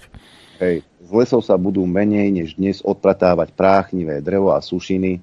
Takže čo to znamená? Že aj tie e, stromy napadnuté napadnuté hmyzom tiež tam necháme, aby vraj sa zväčšil životný priestor pre zvieratá, asi pre hmyz zrejme.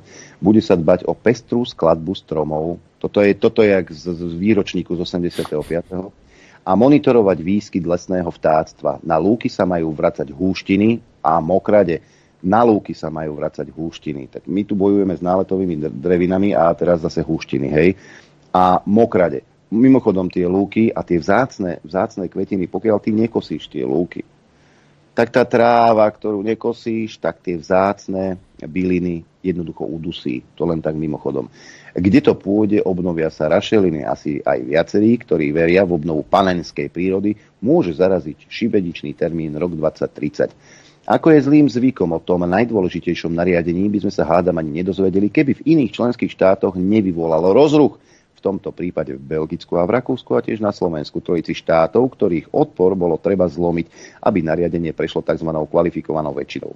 Slovensko je samostatná kategória. Vláda najprv s nariadením nesúhlasila, no potom minister zobchodoval súhlas Bratislavy so súhlasom Európskej komisie vo väčšej miere strieľať medvede. Normálna politika, žiada sa napísať. Naopak v prípade Belgická a Rakúska sa ministerstva životného prostredia otvorene postavili proti vôli väčšiny vlády, presnejšie premiérov. To si tu pamätáme tiež, keď bolo odporúčanie pre ministerstvo životného prostredia zabudé, aby sa nezahlasovalo do, za koniec spaľovacích motorov do roku 2035. Náš zástupca napriek tomu hlasoval za. Belgický a rakúsky premiér verejne nariadenie o obnove prírody odmietali, no v marci ho na rade ministrov prekvapivo neschválili, následne na ďalšej rade ministrov v júni na druhý pokus áno. Je to dýchberúce porušenie subordinácie systému, na ktorom musí stať vláda aj v demokratickom režime. No, európske právo je vymyslené tak, že právomoc, ktorú členský štát jedného dňa v centrále odovzdá teda aj nariadenie, s ktorým, hoci i v slabej chvíli reprezentant členského štátu súhlasil, sa na národnú úroveň už vrátiť nedá. Takmer ho nejde revidovať. Je to systém so záklopkou. A tak môže rakúsky kancelár, mimochodom ľudovec, svojmu belgickému kolegovi predsedajúcemu EÚ, ktorému sa tiež vzbúril jeho minister, napísať žiadosť o zrušenie hlasovania, pretože jeho podriadená zelená ministerka sa vzbúrila. V prípade Belgicka dal minister životného prostredia o nariadení hlasovať napriek tomu, že jeho premiér bol proti. Európsku úniu však jemná demokratická mechanika vlád členských štátov nezaujíma. Prípad názorne ilustroval občasnú tendenciu ministrov životného prostredia považovať sa za niečo viac, za akýchsi politických nadľudí. Poznáme to aj z českej vlády. Počas vlády Petra Fialu napríklad ministerka Hubačková z KDU ČSL pred dvoma rokmi hlasovala za zákaz spaľovacích motorov. Spravila tak napriek tomu, že od premiéra na hlasovanie nedostala mandát.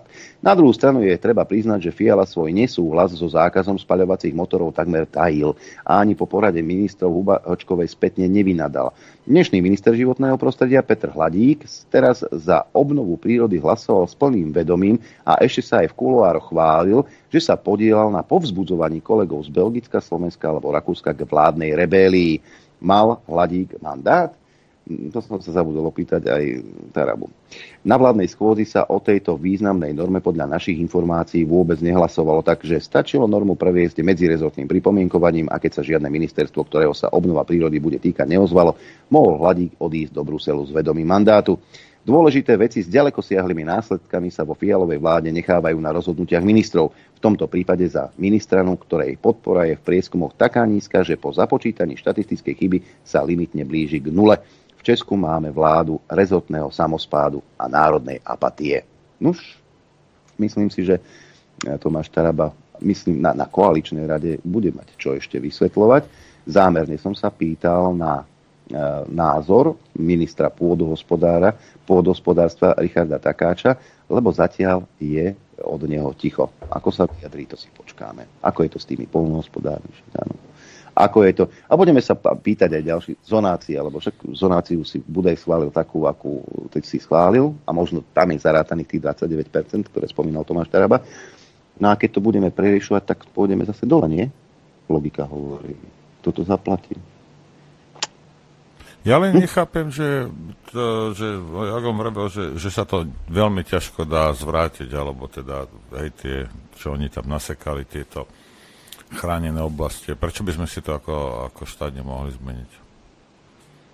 Neviem, ne, nechápem aj, aké sú tam mechanizmy, ale a, to ide aj o to, že treba sa nad tým zamyslieť, ak nejaká vláda, hoci ktorá teda, je schopná, nielen ochotná, ale je schopná ťa zaviazať ako, ako daňového poplatníka, aby si niečo robil ďalších 10, 20, 30 rokov, čo sa ťa dotýka priamo, priamo tvojej pôdy, tvojho živobytia.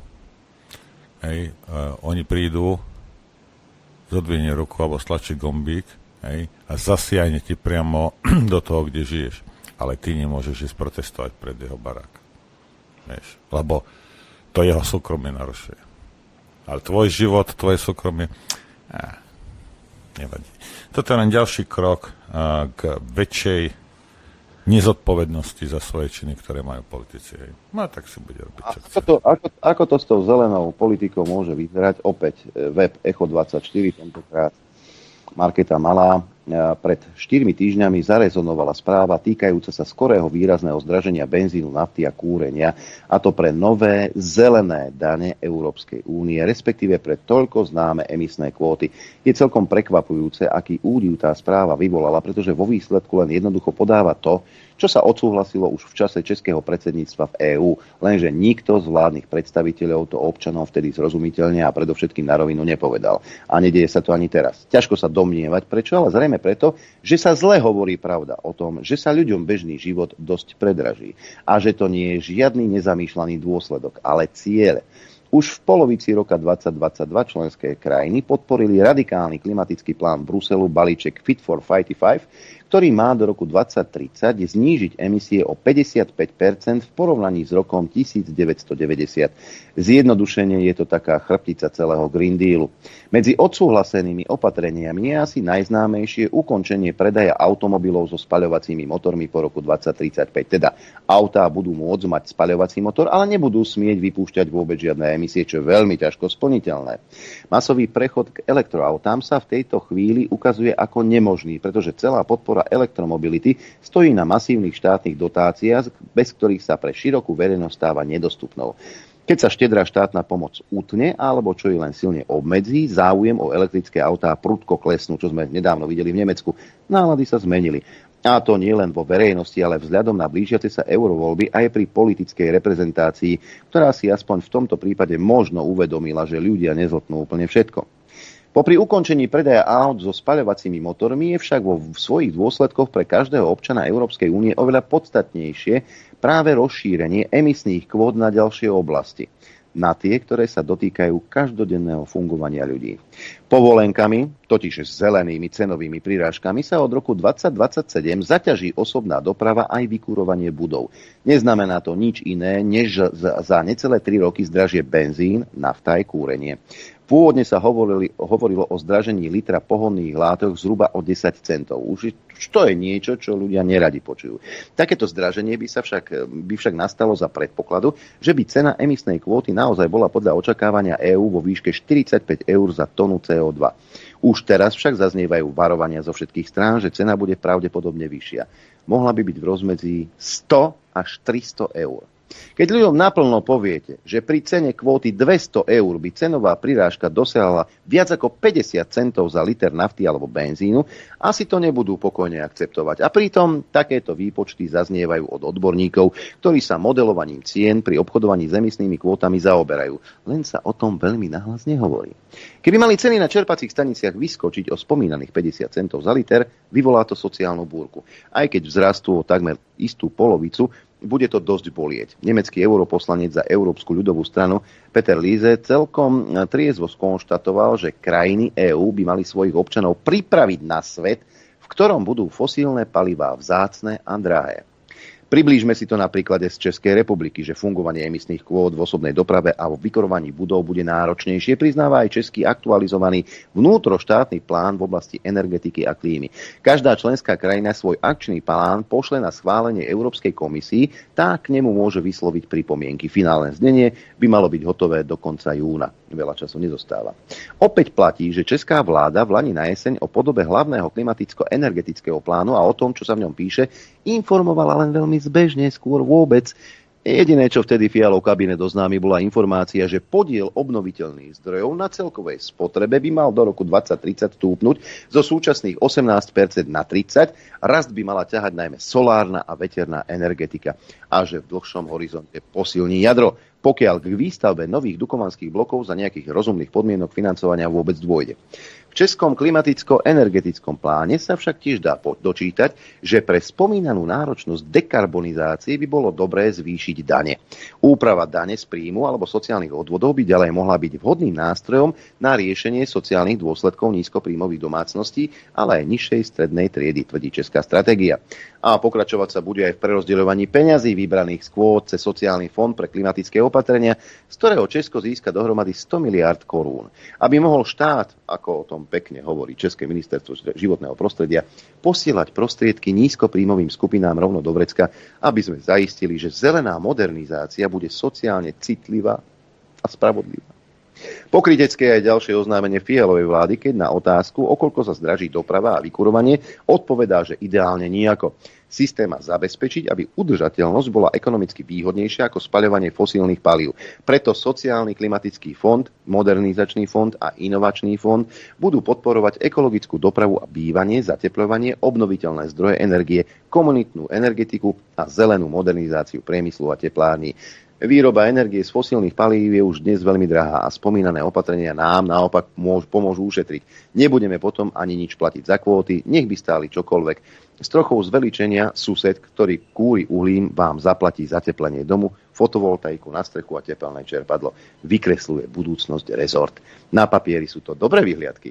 Európske voľby už máme za sebou a dúfajme, že tí, ktorí tam sú, tak to budú vidieť inak. Takže zelené dane budete platiť, benzín bude drahší, budeme sa tváriť, že sme zelení, skoro som niečo povedal, že sme zelení, ale pritom celý svet, okrem Európskej únie, sa nám bude rehotať do ksichtu. Aký sme blbí. A Európska únia pôjde takto dole z kopca, no nie, že by nešla už, hej, takto dole z kopca. Aká konkurencie, schopnosť voči Číne, Indii, Brazílii, Spojeným štátom, žiadna. Budeme tu banda debilov, ktorá sa bude hrať na záchranu planéty. A potom príde taký výbuch sopky na Islande, alebo niekde v, v Ázii a to budete prekvapení, čo sa bude diať. O, už to začalo v Nemecku. Ja to mám článok z asi 29. mája na TechByte. Nemecká štátna kasa je príliš prázdna na to, aby si krajina mohla dovoliť opravu dôležitých ciest. Vyriešiť to má nová daň, ktorá vodičom uloží povinnosť platiť za každý prejdený kilometr. Je pritom úplne jedno, či jazdíte na elektromobile alebo benzínovom či naftovom aute. Aj server Focus hovorí, že dôvodom takéhoto drastického kroku je zlý stav pozemných komunikácií, na ktorých opravu nie sú peniaze. A pozrite sa. Aj, toto je celkom, celkom jednoduché. Ale hlavne, že volíte progresívne Slovensko a Nemci si volia tam tých svojich zelených kreténov. A dobre nám tak. Aj. Lebo Tomáš, jednu vec, hej, a začína to lacnými energiami, od ktorých sme sa odstrihli. Lebo prečo nie? Však na to máme. Hej. Tým pádom ide všetko, a všetko, všetko išlo hore. Hej. Teraz, však zbranie sa dodávajú, neviem čo, a, a munícia, a kdejaké veci. Migrantov naťaháme a plno sračiek sa porobí, aby sa vyprázdnili štátne kasy, nielen nemecké, všetky. Hej. A potom a dotujeme elektromobily a neviem čo. Hej. No a potom, potom chýbajú peniaze. Už je čo rozdávať, je čo presúvať. Hej. Chýbajú peniaze na ceste a na neviem čo. No tak čo? Kde sú peniaze? No jedine u tých, ktorí vytvárajú hodnoty. Hej. A to sú ľudia, ktorí majú reálne peniaze, lebo, lebo je za nimi práca, nie je to digitálne. No tak im zoberme. Zobereme im viac. A máš elektromobil, nemáš, to je jedno. To je jedno. Tiež by ma zaujímalo tých 50%, tých 50 centov, alebo čo si tam vrava, že kam to pôjde tie peniaze? Akože čo? Hej, že ja budem teraz... Dobre, bavme sa o tom. Hej? No, však dobre, niekto má rád tie elektrické auta nepôjdu, verte mi, ale to teraz zistujú tí kreténi, čo si pokúpili cez COVID, že oni že stratili 50, 60, 70% hodnotu a, a 50 tisíc je v prdeli hej, a ty máš nejakú baterku fan, ktorá ti vydrží 200 kg, ako však fajn. Včera som šiel vedľa takej, takej Tesly na diálnici a kde ten ti nepridá, on z Lincu mal značku, nebolo jasné. Ten pôjde, kamaráde, 120 a pôjde až do Lincu, aby sa nemusel nikde zastaviť. Hej. Ale hlavne, že je rýchla tá Tesla. No ale dobre, ľudia pokiaľ sú ochotní s týmto, s týmto dealovať a, a, proste, a plánovať si celý život okolo, uh, okolo blbého elektrického proste mixéru na štyroch kolesách, fajn, hej, však to robte, veď ako to je v pohode. Hej. Lenže celú túto zelenú somarinu niekto musí financovať. Ale teraz si zoberte, hej, že však OK, v poriadku. Báme sa o tom, že nekradnú, v Európskej únii sa nerobí korupcia, nič, proste všetko. Ale oni, oni... Podľa Karapiatovej sme to dotiahli, tú korupciu Slováci do Európskej Hej, ale tak predstavme si, že, tá, že tam už není, hej, že už to neexistuje. Všetko je tak, ako vám hovoria na Markíze a na Jojke, ktorí majú nejakých 15% dôveryhodnosti, neviem, kto im verí, možno tam v Pezinku, Bázinci. No a tak a, si predstavte, že všetko je tak, ako hovoria. Aj. A my všetci konečne, aj takí kreténi, ako som ja, hej, si uvedomujem, že predsa len ten, toto elektromobilita, že to je super vec. Perfektná vec a nebudú od roku 2030 hej, uh, tieto spalovacie motory. Čo si myslíte? To, čo berú teraz od toho chlapíka, alebo budú brať, uh, čo kúri drevom a od toho debila, ako som ja, ktorý jazdí na benzín, keď nebude kúriť drevom, bude tam mať nejaké, nejaké oné, nejakú ako fotovoltiku a, a ja budem jazdiť na elektromobile, skadiaľ budú naplňať uh, štátnu kasu? Čo, ako, čo si myslíte? Akože čo? Že povedia, aha, teraz už nepotrebujeme peniaze? Teraz už nejdeme, roz... nemáme, nemusíme, už, už, už nič, nič netreba? Čo si myslíš? No, nadrbujú ti to pekne na ten tvoj elektromobil, neboj sa. Aj na ten tvoj dom, ktorý nekúri fosilné paliva. Furt si niečo vymyslia, len aby z teba vyťahli peniaze, ty somár. Toto si uvedom. kilometra, pretože tie elektroautá sú oveľa ťažšie, pretože majú tie baterky. Ne, tak Ak za zničenie, le- lebo to bude vy- vytvárať emisie z brzd, z pneumatík, asfalt sa bude ničiť na diálniciach a, a na okresných cestách a zase na niečo na teba vymyslia. Čo si myslíš, že nie? Ke- Mimochodom, keď už sme pri tom Green Deal a ochrane prírody a ideme tu e, 20% územia, už dobre, že nie prale z toho spravíme. Do tých batériek t- treba určité komponenty. Litium a ďalšie vzácne zeminy. Čo si myslíte? Koľko tón zeminy treba pres, pre- presunúť, preosiať, spracovať, aby vznikla jedna baterka? Takže tie povrchové bane, ktoré budú vznikať, mimochodom aj Brazília teraz oz- oznámila, že by chcela byť rozhodujúcim hráčom e, na trhu so vzácnými zeminami. Čo si myslíte, že ako prispieje tá povrchová baňa e, k nejakému environmentálnemu dobru? Čo si myslíte v Afrike v tých baniach budú pracovať skúsení pracovníci alebo deti, lebo detská práca je e, veľmi lacná. No počkaj, počkaj, ale pre týchto, pre týchto, pre týchto ľudí, ale zase, ale neblázni. Však Afrika a Brazília nie sú na tejto planéte, to sú niekde Saturn a druhá je na Jupiteri. Hej, Afrika je na Jupiteri. To, to sa nás netýka predsa, veď my to nevidíme, že? To nie je na našej planéte. Ďaleko. Lebo jediná planéta, ktorá existuje, je Európska únia. Áno. Ostatné to, to sú to Mesiac a Venuša a Mars.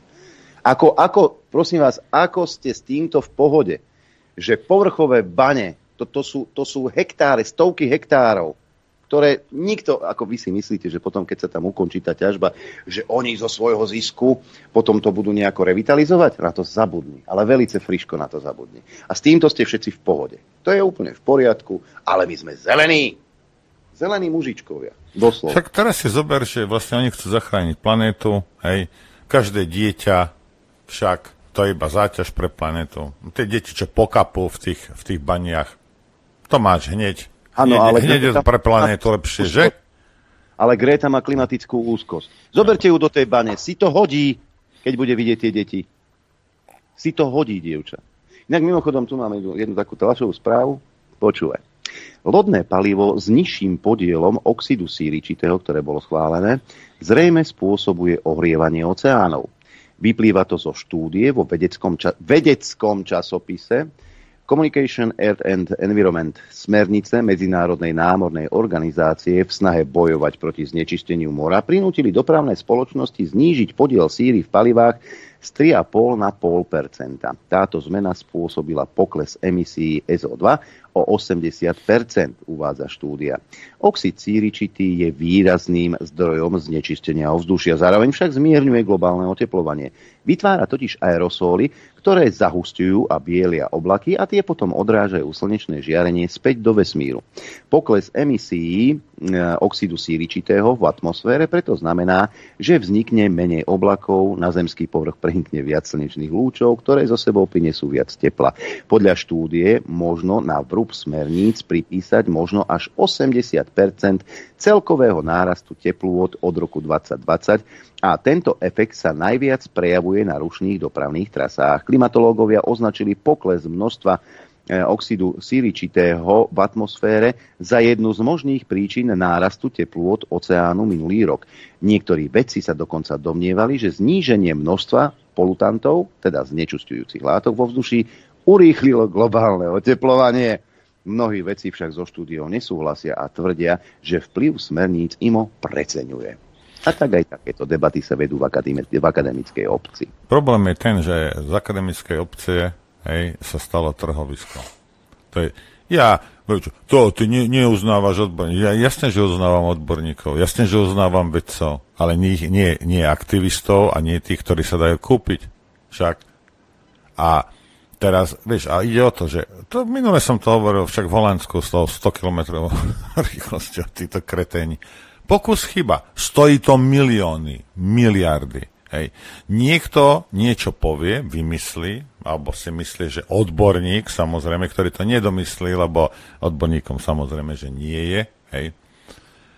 No ale aby, keď sa niekto ozve, no ty chceš ničiť planétu? Ty popieraš proste globálne oteplovanie, neviem čo, hej, ty si antivaxer a kde aké sračky hneď ho nálepkujú, tak sú ticho. A títo kreténi, ktorí odborníci nie sú, len z nich médiá robia akože kvázi, majú zelenú. Hej? A nikto ich nechce zastaviť, lebo sa bojí, že bude spoločensky odstavený. Tak kreténi, hlupáci majú teraz zelenú. Hej? A má dva, tri tituly, sprostie, jak batoh žihlavy, hej? a vymýšľa kraviny, len aby odôvodnil svoju existenciu. A ostatní, tí, čo vedia, sú ticho. Tak sa počká. Tak tam 100 miliónov, tam sa niečo dodrbe, tam proste, hej, deti zomierajú. To je jedno. Hej, to je jedno. Len aby náhodou, hej, a teraz hovorím k tým skutočným odborníkom a vedcom, len aby náhodou ťa nikto nenariekol, tak sa prizeráš k tomu, ako ničia naše okolie. Kreténi. Hej. Ale to je v poriadku. To je v poriadku, lebo on bojuje proti. On bojuje proti oteplovaniu. Vieš, chráni planétu. Že ju ničí zároveň. Hm. A čo? A tu je pes zakopaný. Aj hlupáci majú zelenú a nikto ich nie je ochotný odstaviť. Ten problém, že nie len politici, ale aj, ale aj odborníci, vedci, novinári sú aktivisti. A to je všetko. Za Boha, za národ, za klímu a za neviem čo. Teraz za Boha, za národ bol blbý príklad, ale oni majú svoju, ale vlastne ani nie, lebo oni majú svoju vlastnú vieru. Oni v to veria. Oni ignorujú fakty oni ignorujú, e, ignorujú výskum, ktorý im nepasuje do karát. Ten označia za, a to je nič, to je, to, to, nič, to je, s tým sa nebudeme ani zaoberať. Na čo by sme sa zaoberali? Veď my máme svoju vieru, ktorú nemôžeme popierať. My je musíme veriť, lebo je to tak správne, lebo nám to niekto povedal, že je to správne. Ale pritom, keď sa pozrieš na to z odstupu a máš všetkých 5 pokope, vidíš, že je to úplná konina, a ťukáš si na čelo, že preboha ľudia, kde ste podeli zdravý rozum? Kam? Toto, toto tu, vieš čo, možno nejakých 30-40 rokov toto, toto funguje, hej, títo, títo kreténi uh, pri moci.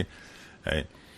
Nikdy, a ukázalo sa x krát, že sú to koniny, ktoré spôsobili škodu. Nikto im nedal nahradiť to škodu. Nikto. Furt to sanovali kreténi, ktorí ich tam navolili. Hej? A čo si myslím, že ja si myslím, že je to spravodlivé. Hej.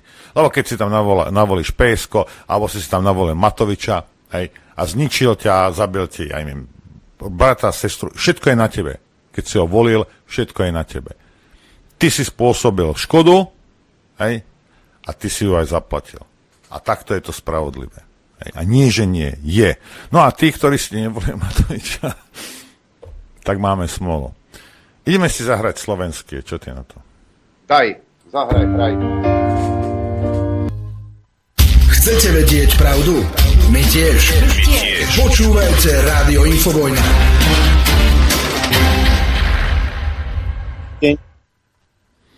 Dobrý deň, Prem. Ja len na Margo chcem toho, čo odznelo predtým. Tam, tam zaznelo, že možno to Taraba vyvexloval za, za Medvedov a toto hlasovanie. A jeden by mohol, ak to je pravda teda, jeden by mohol povedať, že ú, aký politický ťah, hej, a toto robí Orbán, tam vexluje s jakými vecami. A môžeš na to tak pozerať, hej. Lebo to je ako keď si schopný si vymeniť, ja neviem, cigarety za niečo iné v base.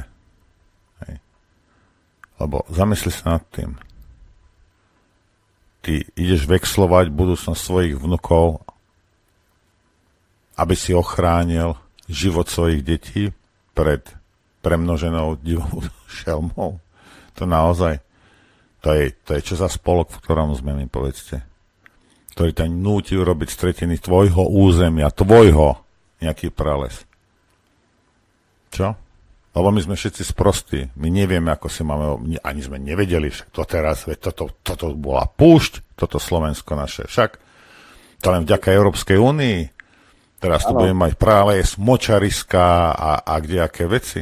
To znamená, že čo? Že... Ľudičky sa budú ťahať do tých močarísk, rozumieš? Ma, konečne sa vrátim. Inak, čo sa stalo so svetojanskými muškami, som už nevidel dávno.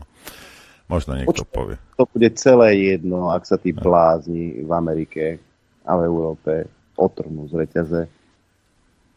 A nebudete tu mať, o takých o, o budeme len snívať, lebo keď sa tu strhne jadrová vojna, tak tu bude všade púšť. A tí blázni sú ozaj tak nastavení.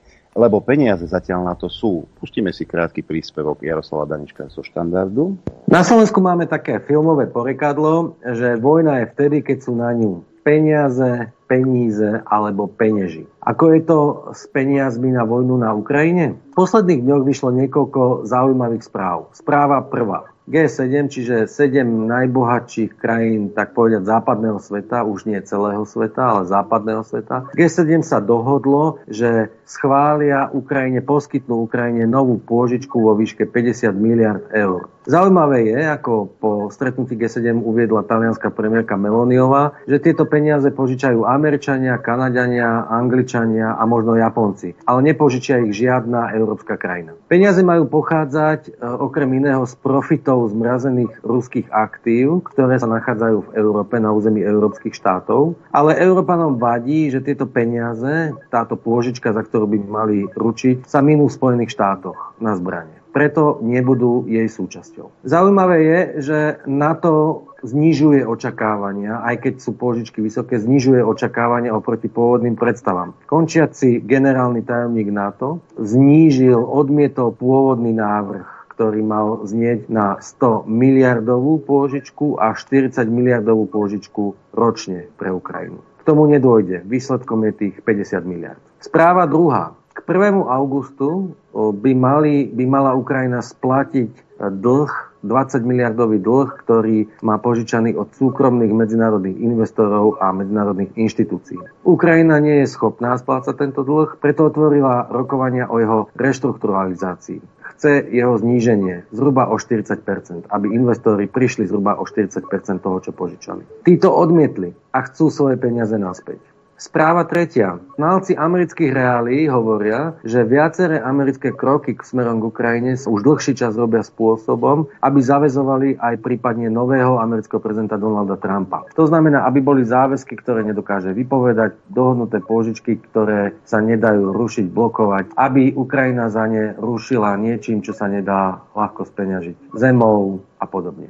Jeffrey Sachs si myslí, že tieto aj ďalšie dôvody ovplyvňa to, že Trump nebude schopný, že nebude ani ochotný meniť v zásadnej podobe politiku Spojených štátov voči Ukrajine. Trump hovorí, že vojna má skončiť, že to treba skončiť. Dokonca hovorí, že má plán. Ale ako povedal jeden dobre informovaný európsky politik, Američania niekedy hovoria o pláne, ale v skutočnosti je to iba cieľ. Trump veľa očakávaní v poslednej dobe nevzbudzuje. A správa posledná. Švajčiarská konferencia, švajčiarsky mierový summit, kde prišlo takmer 100 zástupcov zo 160 pozvaných štátov sveta nedopadlo úspešne. Záverečné komunike odmietli podpísať viaceré dôležité krajiny tzv. globálneho juhu, ale aj viaceré krajiny Blízkeho východu, ktoré sú stále závislé do nejakej miery na Spojených štátoch. Odmietol to napríklad Irak, Libanon, ale aj ďalšie štáty. Svet je teda rozdelený. Peňazí je na vojnu dosť. Nebudú ich ale poskytovať súkromní investori, budú ich poskytovať štáty. Obávam sa, že správa zo začiatku leta 2024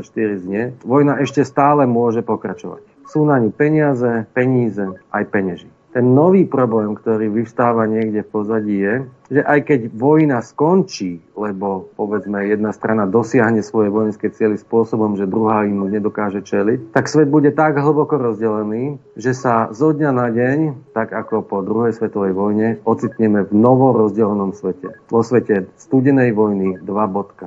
Pre krajinu ako Slovensko, ale aj Ukrajinu a ďalšie štáty na východe Európy to nie je dobrá správa.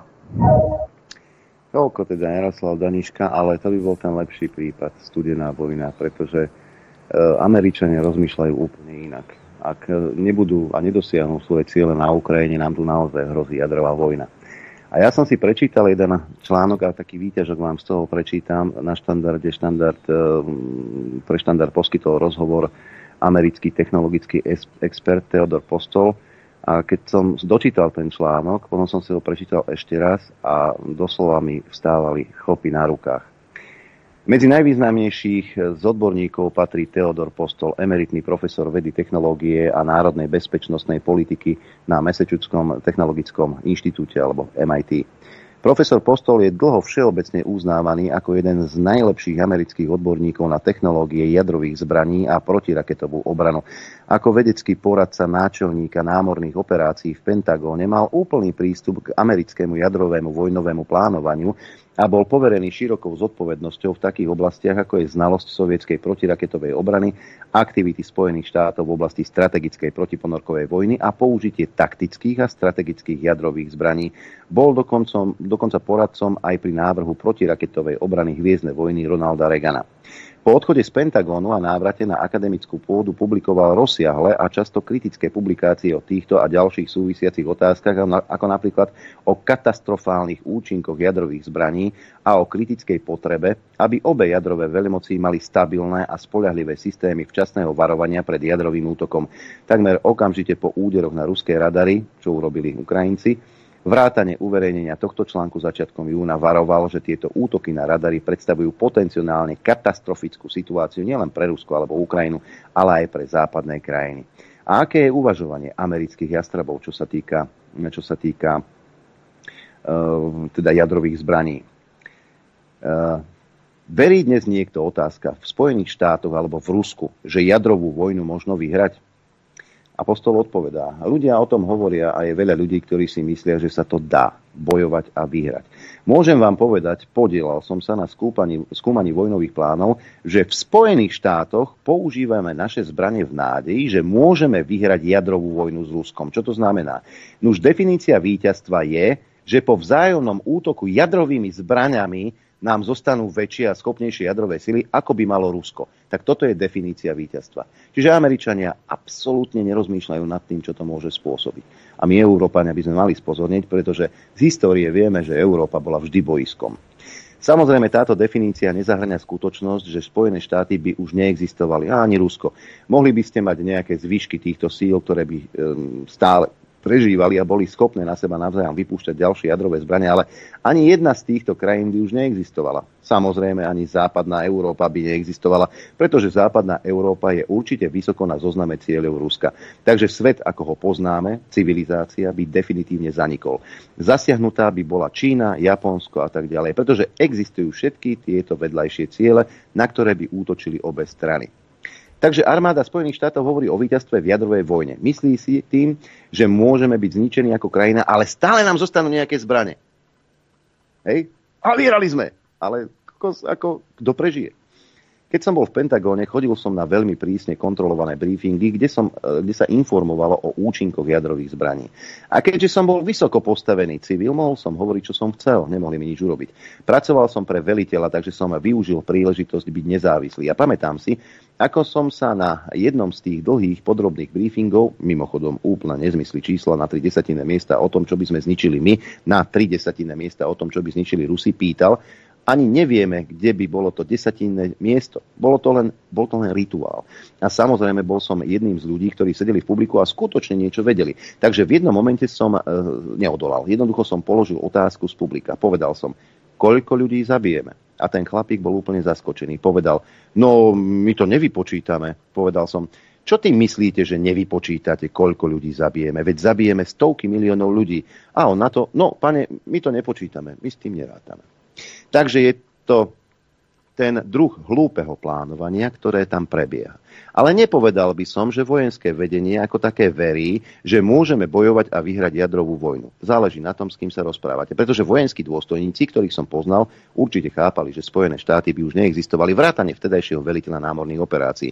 A toho nesmierne trápilo. Súčasný predseda zboru náčelníkov štábov, generál Brown, sa zdá byť veľmi rozvážny a vyzná sa vo fachu. Ale plánovanie bolo zamerané na víťazstvo v týchto podmienkach. Odvtedy Spojené štáty prijali rozsiahle technické opatrenia na zlepšenie našej schopnosti zničiť ruské strategické sily. Takže to nie je tak, že by sme v roku 80 povedali, môžeme spôsobiť obrovské škody, nemá zmysel pokúšať sa urobiť viac, pretože toto nie je možné vyhrať. Namiesto toho sme urobili to, že sme sa úprimne snažili zlepšiť naše sily. Rusi sú v týchto veciach veľmi dobre informovaní a triezvi a na základe vlastného nezávislého hodnotenia dospeli k vlastným záverom. Počul som ich povedať. Vieme, že ruské ICBM by mohli byť v podstate zničené americkými silami. Že by ich zostalo len niekoľko zlomkov percenta. Americké sily sú toho schopné.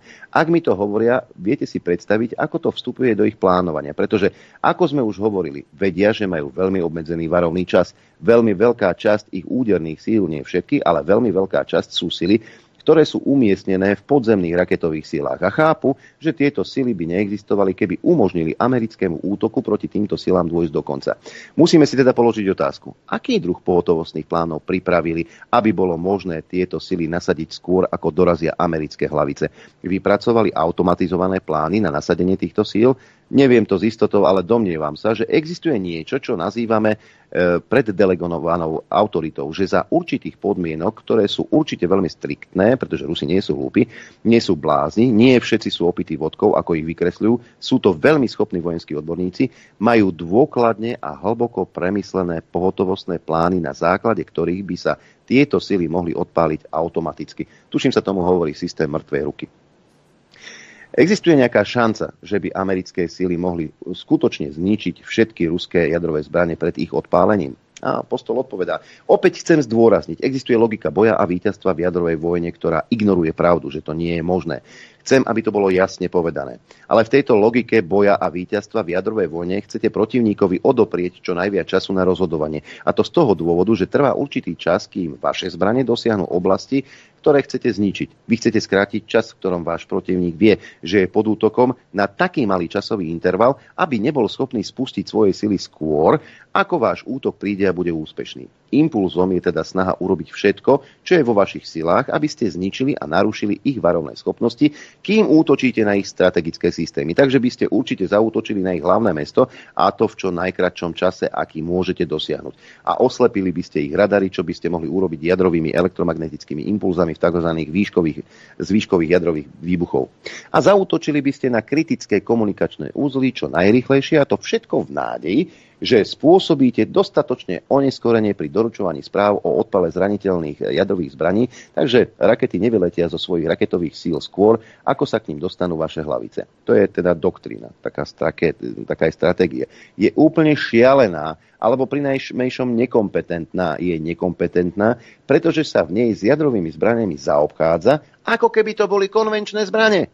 A táto stratégia ignoruje skutočnosť, že tieto zbrane by zničili celú vašu spoločnosť a aj vy by ste boli zničení. Aj keby sa vám podarilo zničiť takmer všetky jadrové zbrane protivníka, ignoruje sa táto skutočnosť. Keby som bojoval v konvenčnej vojne s použitím konvenčných zbraní, presne takú stratégiu by som e, použil. Snažím sa prerušiť vašu komunikáciu. Snažím sa, aby ste si mysleli, že sa deje niečo iné niekde inde, zatiaľ čo vám zasiahnem v oblasti, kde si myslím, že ste najslabší. Presne takto sa bojuje v konvenčnej vojne. Niektorí ľudia, a urobilo to veľa ľudí, vzali tieto rozumné vojenské koncepcie a preniesli ich do jadrového prostredia, kde sú tieto myšlienky úplne smiešné. Pretože sila a ničivosť jadrových zbraní je taká veľká, že neexistuje spôsob, ako, byť, ako nebyť zničený, aj keď sa vám možno podarilo zničiť väčšinu nepriateľských síl. Dá sa teda predpokladať otázka, že Rusi by chceli nielen túto odstrašujúcu schopnosť, tento pohotovostný plán na automatické odpálenie v prípade útoku, ale chceli by to aj, aj to, aby o tom Američania vedeli. Je to tak? Určite. Ak sa skúsite vžiť do pozície ruského vojenského štábu a do pozície ruského národného vodcu, akým je Putin, s jeho mimoriadne hlbokým strategickým myslením, pozerá sa na týchto Američanov a hovorí si, Títo chlapci sú banda bláznov. Zdá sa, že vôbec netušia, čo robia. Zdá sa, že nechápu dôsledky všetkých tých bláznivých rozhodnutí, ktoré robia, čo ma napríklad dostalo do situácie, keď som musel doslova vtrhnúť na Ukrajinu, hoci som to nikdy nechcel urobiť. A teraz sa pozera na týchto ľudí a hovorí, čo oni vedia, čomu rozumejú, čomu veria. Mohli by byť natoľko hlúpi, aby skutočne podnikli akciu tohoto typu. Ako som povedal, hovorí postol, Putin vždy jasne hovoril, že jadrová vojna by viedla k zničeniu civilizácie. Všetkého.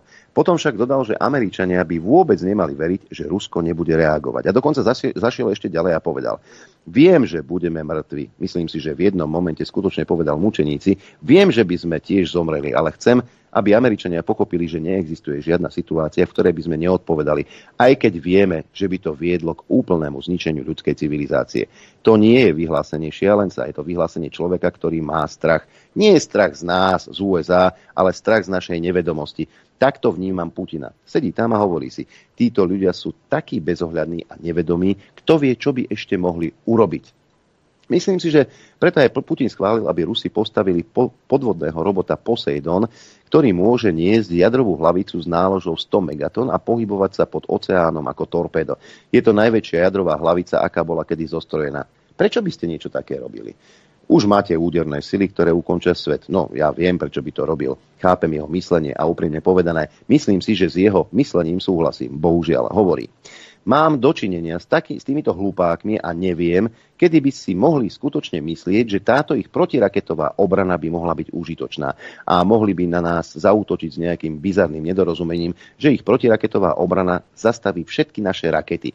Takže im chcem ukázať zbraň, o ktorej by mohli uvažovať, o ktorej by aj ten najväčší hlupák pochopil, že ju žiadna protiraketová obrana nezastaví. Preto ten Poseidon.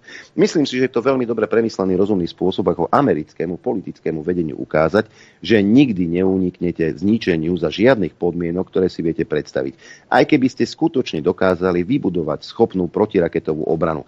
A to ste samozrejme neurobili, ale chce len, aby ľudia vedeli, že je to situácia bez víťaza.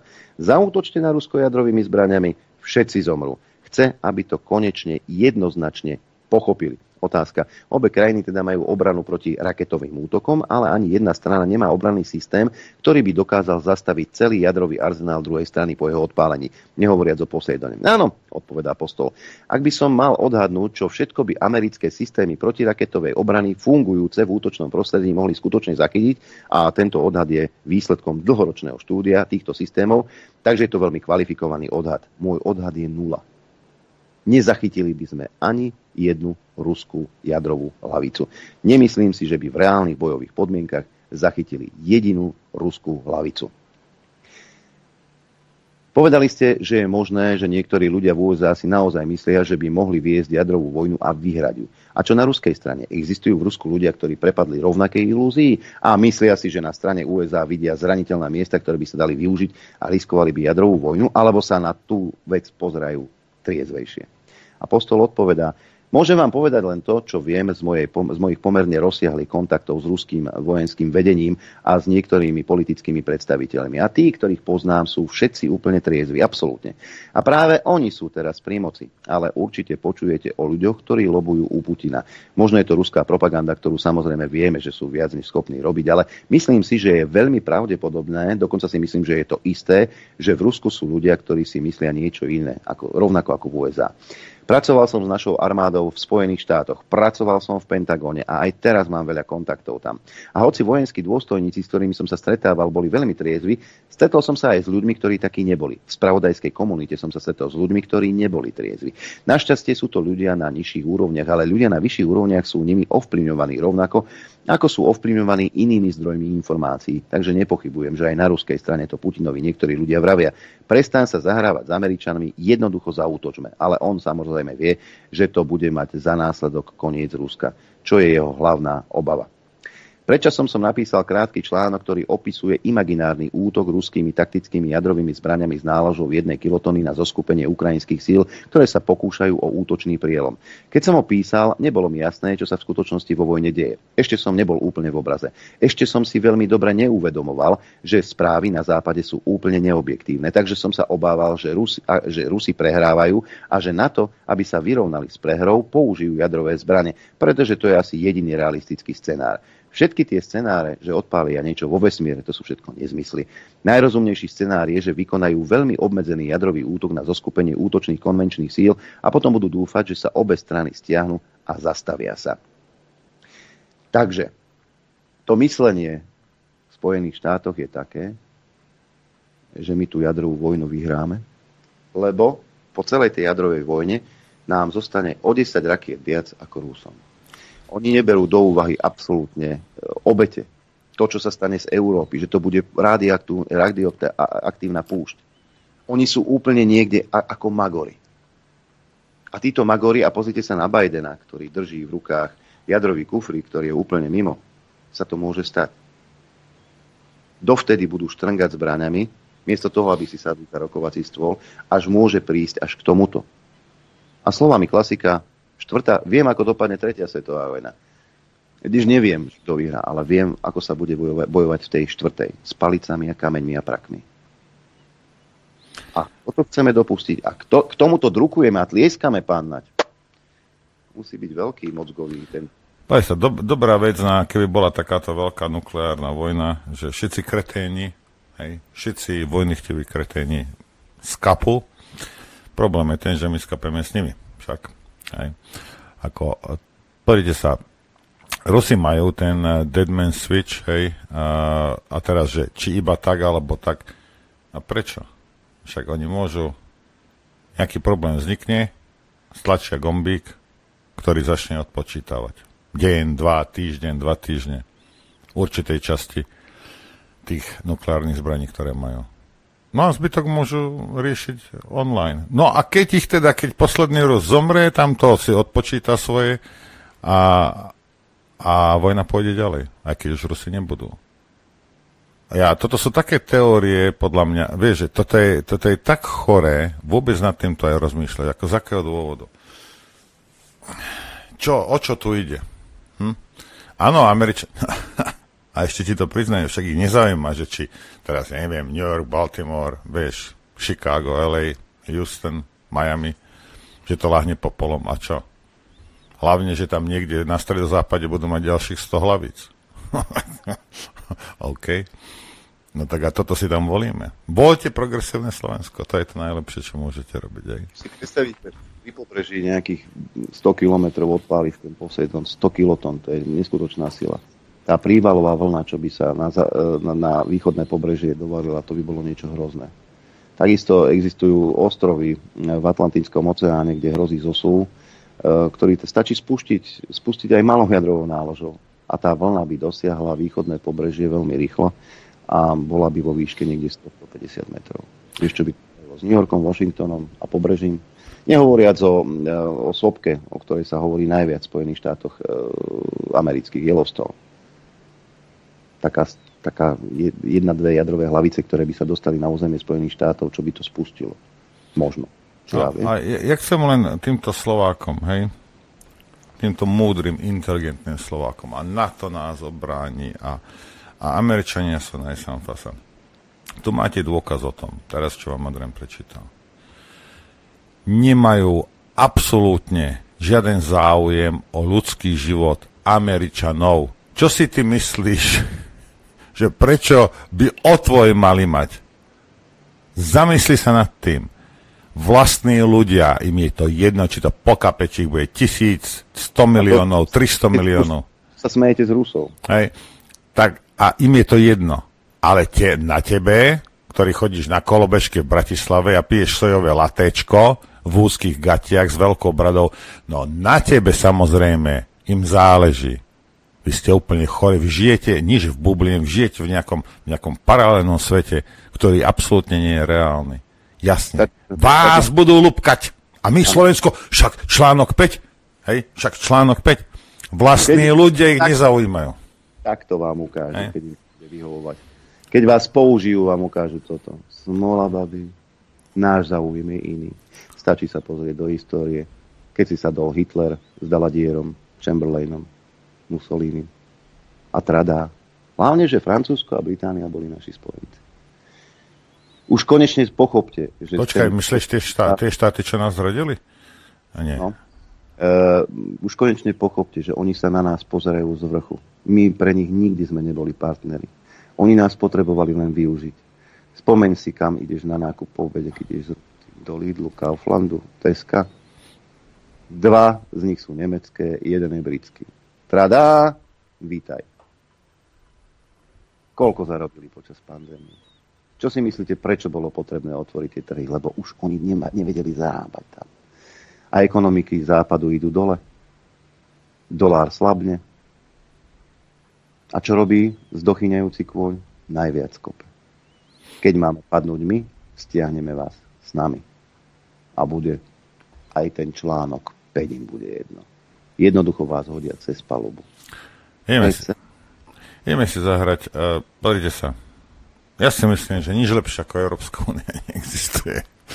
Ak teda chceš niečo, aby ti to zničilo život, životné prostredie a ekonomiku. Nič lepšie neexistuje. Pravdepodobne naši vnúci budú donútení z, tejto priposra, z, to, z tohto priposratého kontinentu, kde hlupáci volia kreténov odísť. Hej. Sú iné miesta na tejto planete, kde sa dá normálne žiť. Vyzerá to, že Európska únia to nebude. Chcete vedieť pravdu? My tiež. My tiež. Počúvajte Rádio Infovojna. Dobré ráno všetci. Dobrý deň všetci.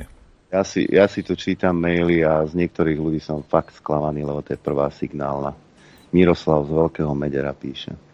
Dobrý deň, prečítajte si prosím recenzie na ten Motores Zubor, ktoré sa vám otvoria po kliknutí na link Motorestu alebo aj váš link. To odradí určite aj vás z rádia a všetkých, ktorí sa asi tešili na stretnutie. Takže moja voľba. Tam nejdem, aj keď tam bude možno spústa zaujímavých ľudí. Miro. Chod si do Korvinu dať steak za 50 eur. To je najlepšie. Nejde, nejde o to. Nejde o to. Keď si otvoríš tie recenzie, tie recenzie, jedna je pred 9 rokmi, ďalšia pred 7, ďalšia pred 9 rokmi tu svieti motorest Zubor. Trvalo zatvorené. Áno. Ten motorest, tak ako ho poznali predtým, nefunguje. tak nefunguje už roky. Medzi tým sa zmenil majiteľ a ten majiteľ začal robiť pred, v roku 2021, sme tam 2022, 23, 24, tre, po tretíkrát tam ideme a mm, tá účasť bola e, vždy veľmi vysoká. Motorest Zubor medzi tým zmenil majiteľa, a ten majiteľ ide cestou, že tam robí akcie, má tam veľký areál. Prosím vás, keď už čítate tie recenzie, tak si pozrite, že to bolo pred 9 rokmi, pred 7 rokmi a je to trvalo zatvorené. Ono, ten motorez Zubor nefunguje ako motorest, má už len ten názov, ktorý mu zostal. Prosím vás. To, to, ako naozaj, ako... Uh. Ale no, ale no.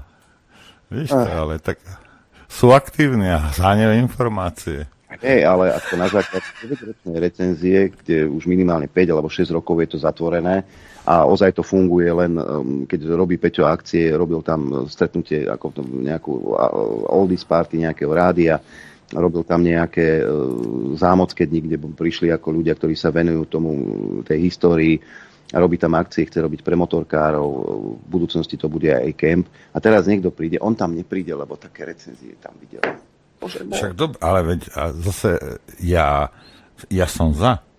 Hej. Tupí ľudia, choďte na pohodu. Ja s tým nemám problém, nepríď. Brajem ti, v Korvinovi za 50 eur si daj, si daj suchý steak. Čo ti mám na to povedať?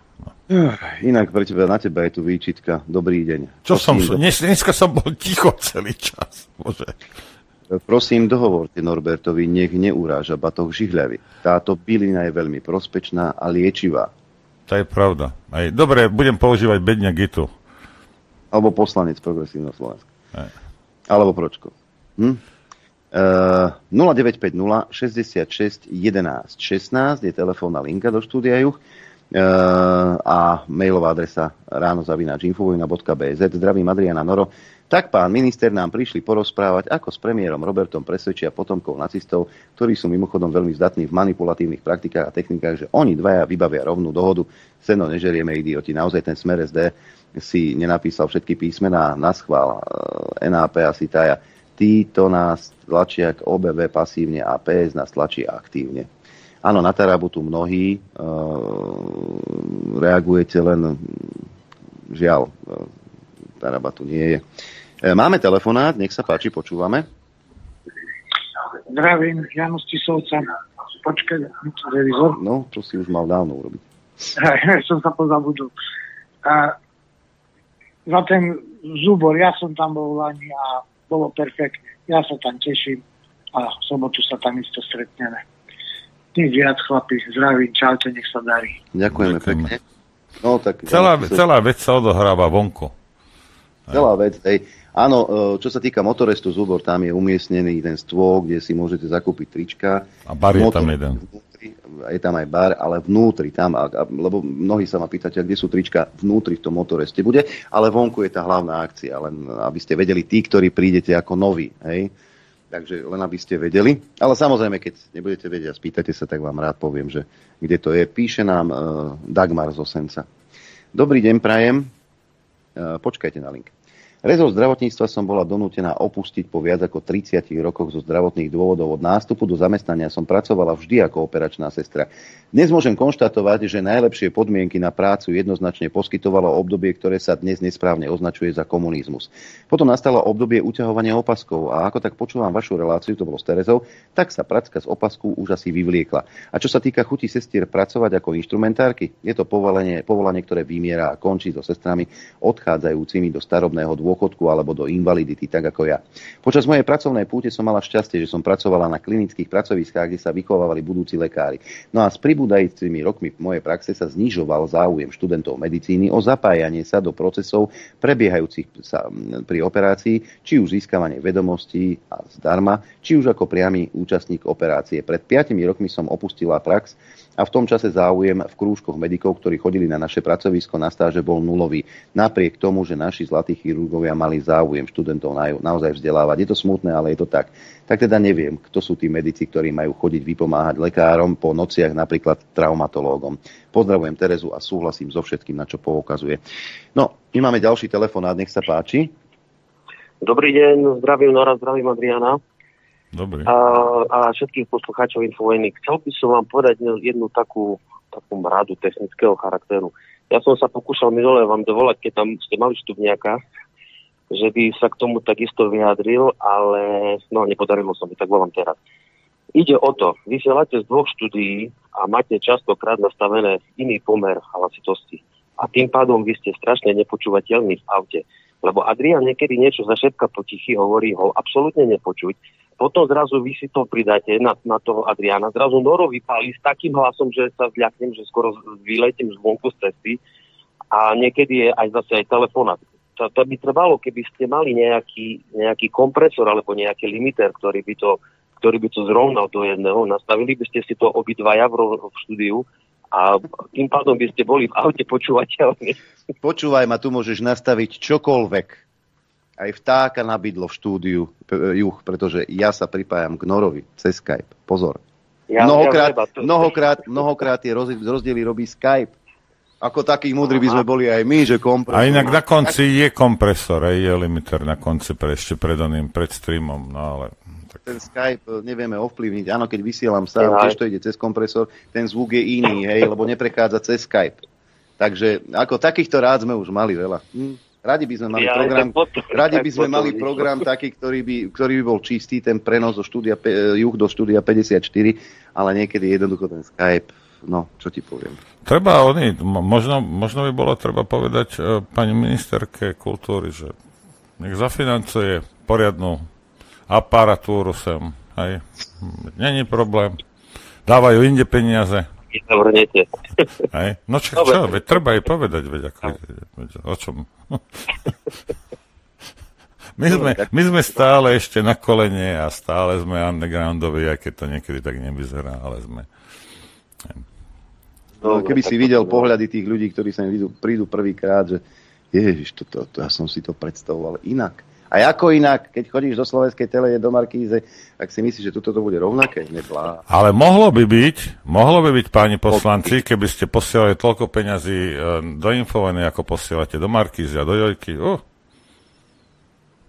Normálne by ste dostali aj inú kávu a nie od, môj, od, nie od môjho kamaráta tam z východnej strany stredozemného mora, však pozdravujem do Čích. No, to by som mohol mať tu aj sekretár, ktorá by navarila kávu napríklad. Uh-huh. Ako Jan Kubiš, keď sem prišiel poprvýkrát, a, a nepríde pre mňa niekto, len pán Kubiš, a vy si myslíte, že ja tu mám fraucimor? Že dve sekretárky, rozumí, že jedna varí kávu, druhá do toho dáva mliečko a štvrtá mi chystá vysielanie, ale nebláznite. Nebláznite. Takže asi tak. A teraz bude mať plný servis už úplného, neboj sa, už bude dobre. Už bude spokojný. dobre, ďakujeme pekne. Ďakujeme. Uh, poďme na mail. Dobré ráno. Pri Šuranoch idú Číňania likvidovať 400 až 600 hektárov najkvalitnejšej ornej pôdy. Idú tam stavať fabriku na výrobu batérií pre elektromobily, o ktoré, o ktoré vo svete nie je záujem. V druhom kroku tam idú recyklovať staré batérie z celej Európy, idú tam stavať spaľovňu plastov, výdychy z komínov budú kontaminovať polychlorovanými bifenilmi a inými škodlivými splodinami. Obilnicu Slovenska, celé južné Slovensko bude kontaminovaná nielen pôda, ale aj voda a vzduch. Tento nezmysel vymysleli bývavé vlády so Sulíkom a Hegerom a táto vláda to namiesto stopky Cesakovú schválila. Môže to ohroziť našu potravinovú sebestačnosť. Oficiálna štúdia dopadov na životné prostredie bola spochybnená. Celá príprava projektu bola do podpisu utajená, aby sa k tomu nikto nemohol vyjadriť. František z Bánova, Kesan. No, nie je tu Taraba. Ja som sa snažil sa ho opýtať, ten čas bol fakt malý, lebo sme ho plánovali grilovať oveľa dlhšie, ale žiaľ, e, vyšlo to tak, ako to vyšlo. Máme ďalší telefonát, počúvame. Dobrý deň, to je Milan Nové. Zdravím Infovojnu všetkých poslucháčov vás, pani moderátori. Ja len tej Európskej únii, kde sme momentálne ľudia si musia uvedomiť, že Európska únia pri našich štátov e, e, urobila to, vlastne zlikvidovala nám ekonomiku hospodárstvo. Oni vedeli veľmi dobre, prečo nás e, do tej Európskej únie ťahali, aby ten svoj šuvik toho nanášali. A ľudia sú naivní, keď si myslia, že Európska únia nám prišla pomáhať. Európska únia vyslovene prišla rozvrátiť nás a e, vytvoriť si nové trhy. Vycúcať. E, vycúcať, presne ako hovoríte. Chcem ešte jedno povedať. E, jediné riešenie z tohto marazmu sa dostať je vystúpiť z Európskej únie, z NATO, z VHO, a aj z OSN. Viem, že to bude ťažké, bude to s tými ušami, ale keď to nespravíme, tak neprídeme len o tie uši, ale aj o tú hlavu, čo máme na krku. To, tieto slova povedal pán Koler a plne s nimi súhlasím. Takže len toľko. Čím skôr odtiaľ preč, tým lepšie. A veľká škoda, že sme ešte aj menu svoju vlastnú Slovensku stratili. To je veľká škoda. No, to je len toľko. Ďakujeme pekne. Povedať. Ďakujeme a, pekne. Moment, moment. Čo? Ja som raz Hej, išiel po meste a som si vyťahol vreckovku a, a, a vy, vypadlo mi 50 korún hej, z vrecka. No, stratil som 50 korún. Žiadnu menu sme nestratili. To nie je, že náhodou niekde niečo sa stalo. Nič sme nestratili. To bolo urobené plánovanie. A ešte, jak, ja som to videl, to, jak on budeme mať najsilnejšiu menu na svete. Jasne. Meníme menu, nie cenu. Hej. Počuli sme kdejaké srágory. Nie, nič sme nestratili. Do, Obrali nás o to. Do desiatich rokov sa vyrovná životná úroveň so západom. Oh. Ale, ale možno aj hej, lebo uh, nie, že, nie, že my by sme išli hore, ale oni idú tak dole teraz, že za chvíľku budú tam, kde sme my. Však E, tuto píše Vlado Brňák z Mníchova, takže decka, e, budete mať aj špekáčky. Priveziem asi 20 kg vynikajúcich špekačkov, čisté, bez plnidiel, iba maso, špek a korenie. To pre tie deti, ktoré si neprivezú, neprivezú svoje, sú na, naozaj luxusné. Výroba skala Petrovičky, uklatov, súkromné uzenárství. Transportujú je v lednici, objem 50 litrov, takže budú v pořádku. Pozdravujú a teším sa. E, ďakujem. Kto to, kto to donesie? Vlado Brňák z Mníchov. Ja aj Vlado, dobre. Však to je ten, čo hral v Jure, vieš, na gitare. Áno, viem, viem, viem. Hneď mi to, hneď mi to, hneď mi to uderilo do očí. Máme telefonát, počúvame. Dobrý deň, Rado z Ľubovny, alebo z Neznel. Teraz som v Ľubovni. A bol som aj na Orave. Mám takýto návrh, na, keď bude na dňa bližšia, by som to povedal, Ive seans, alebo jak sa to povie, schromaždenie. Viete, čo som si všimol? Nie je to prvýkrát, čo som na takomto posedení. Ale ako si nám chýba, aby nám niekto tam už konečne predstavil, ako by ten štát mal vyzerať. Ja mám predstavu svojho štátu. Viem urobiť takú prednášku aj na hodinu, na dva. Ale bol by som rád, keby tam prišiel ten William Hornáček. Treba aj ten túlak z ulice. A predvidnesli by sme spoločne, že čo, čo je štát, čo je tzv. krajina, Jak by to malo vyzerať, ak by malo vyzerať školstvo a všetko tieto. To znamená zohľadnenie reality, kde sa nachádzame, reality, aké sme boli, aká je plánovaná budúcnosť pre nás, o nás alebo bez nás a akú si my môžeme naplánovať a akú máme. Zohľadnením faktov globalizmu, pretože ten sa ignorovať nedá. Mám predstavu, viem aj na toto nejak zrobiť. Ale bolo by dobre, keby to niekto tým ľuďom predniesol, pretože uh, ako sme sa bavili, ako som aj ja povedal vtedy, žiaden štátnik v odzovkách to nepovedal, pretože to nevie. Tak my im to povedme, ako máme my predstavu, ak by mal ten štát byť. Čo by mal byť našim štátom? Aké by mala byť vláda, ústava, čo by tam malo byť, ako by sme mali voliť zastupcov, to všetko sa dá povedať. To nie je zložité. Dobre, ďakujeme Dobre, ďakujeme. Ja, ja, ja nemám problém s týmto, lebo naozaj tá vízia je chyba aj nie, je neexistujúca. Nemáme štátnikov, nie, nemáme, aj keď bol postrelený, stále nemáme, lebo tá, toto je furt iba lepenie proste nejakej diery, furt každú chvíľu niečo, politikárčenie. Hej. A, ale toto si myslím, že je viac na reláciu, ako na prednášku tam v 40 stupňovej horúčave. Takže nech sa, nech sa páči, treba do relácie prísť. Uh, ahojte chlapci, neviem, či pán Taraba má znalosť o ďalšej baterkárni v Hornej strede pre Porsche. Mal by mať, lebo tiež vraj chcú štátnu podporu. O to snáď vie, Zuzana. Ak príde na budúce, sa opýtame. My však máme ďalší telefonát, nech sa páči, počúvame. Dobrý deň, podarilo sa mi ešte zavolať. Tu je Milan Nové zámky a chceme povedať, že asi zle, sme sa, zle som sa vyjadril, možno, že sme povedali, stratili sme menu. Ja som to presne tak myslel jak Norbert, jednoducho to bol zámer. To len toľko na objasnenie. Ďakujem pekne, do počutia. Ďakujeme. Ďakujeme. Tuto je kritický mail. Nazvime ju Vierka, posluchačka. Pán Tarába, nie ste trochu schizofrenický. V jednom výstupe poviete, že potravinová sebestačnosť Slovenska je nízka, ani nie 30%. Stiažujete sa na prehnané pestovanie repky olejnej pre biopaliva a úhyn včiel elektroautá nemajú budúcnosť. EÚ potrebuje vyše 800 jadrových elektrární, aby to akože fungovalo. Takže Green Deal sa musí prehodnotiť a súčasne idete podporiť výrobu elektrobatérií s veľkou záťažou na životné prostredie a to ešte aj na úrodnej pôde, ktorú týmto zdevastujete a nikdy už nevrátite do pôvodného stavu. Na východe ide vláda podporiť výstavbu ďalšej automobilky Volvo. Naozaj si myslíte, že toto vám národ žerie a zožerie? E, ktorý podnikateľ ide ďalej živiť svoj biznis, biznis, ktorý evidentne má problémy a nemá budúcnosť. Gratulujem vám, je to také logické, vizionárske, národné fakt pre rozvoj a záujmy Slovenska a Slovákov. Stále sme lacná a zaujímavá pracovná sila, dlhoročne sme dojnou kravou pre zahraničné firmy a banky. Kapitál len tak fičí von z tejto krajiny. Chcem vidieť, ako tie automobilky od nás rýchlo odídu. A vrcholom všetkého je aj to, že v tých automobilkách pracujú vo veľkej miere tzv. legálni migranti, nie Slováci, ktorých chceme ešte viac príjmať, lebo ich potrebujeme. Tak o čom to celé je? Prečo ideme z daní Slovákov podporovať zahraničné projekty, keď evidentne zahučíme ekonomicky a kultúrne? Mimochodom, kedy zákonne sfunkčníte referendum? Vďaka. Pri takomto nastavení dávam súčasnej vláde životnosť ešte maximálne rok.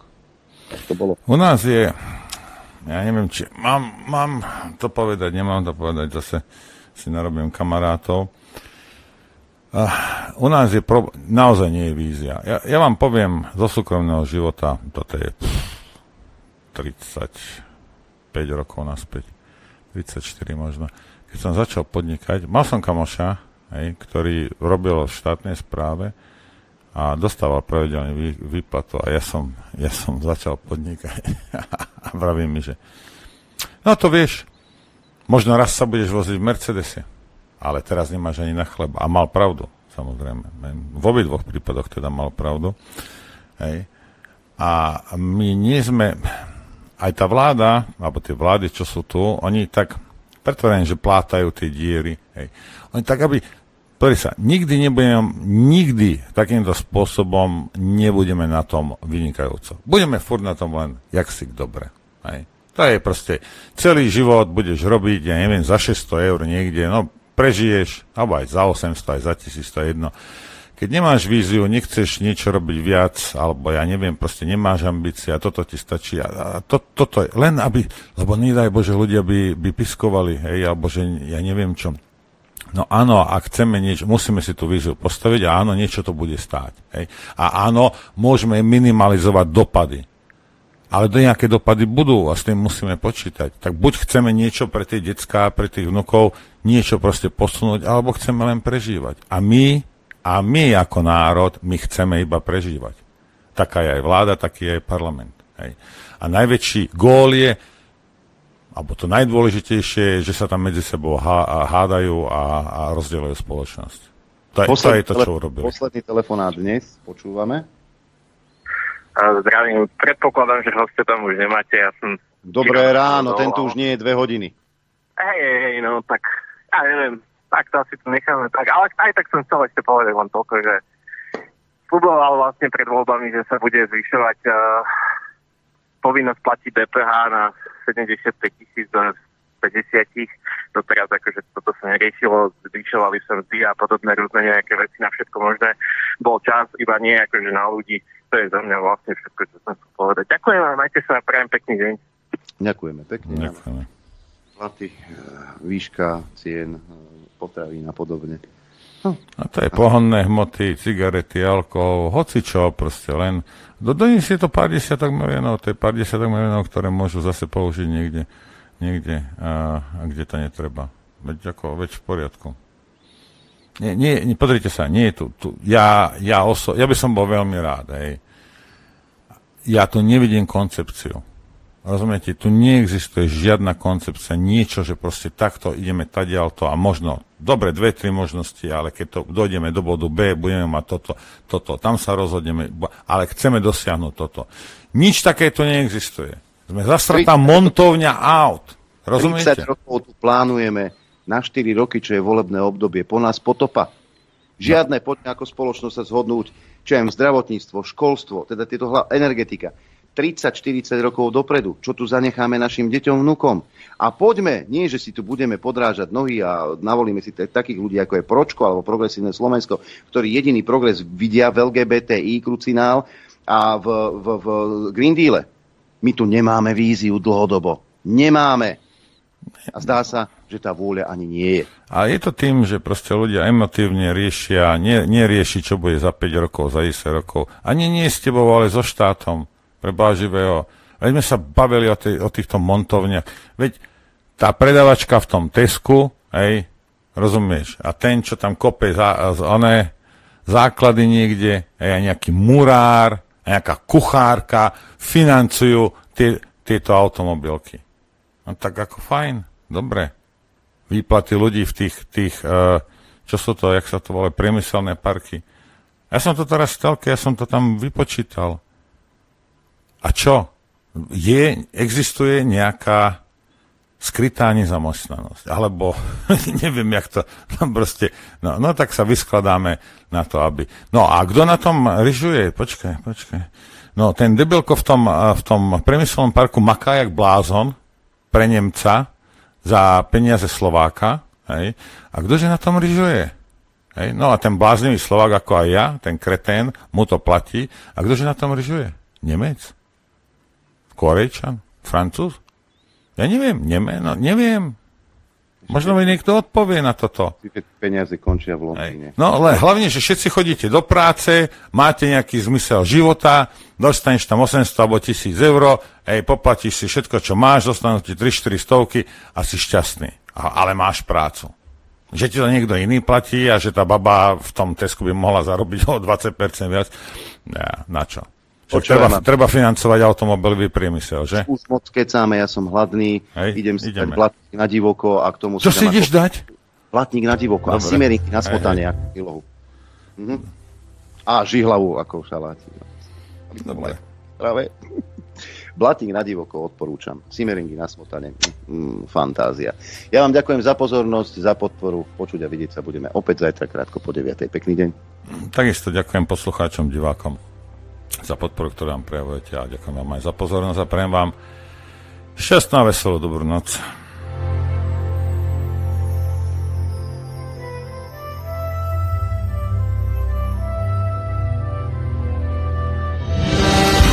Len vďaka vašim príspevkom sme nezávislí. Nezávislí. Rádio Infovojna.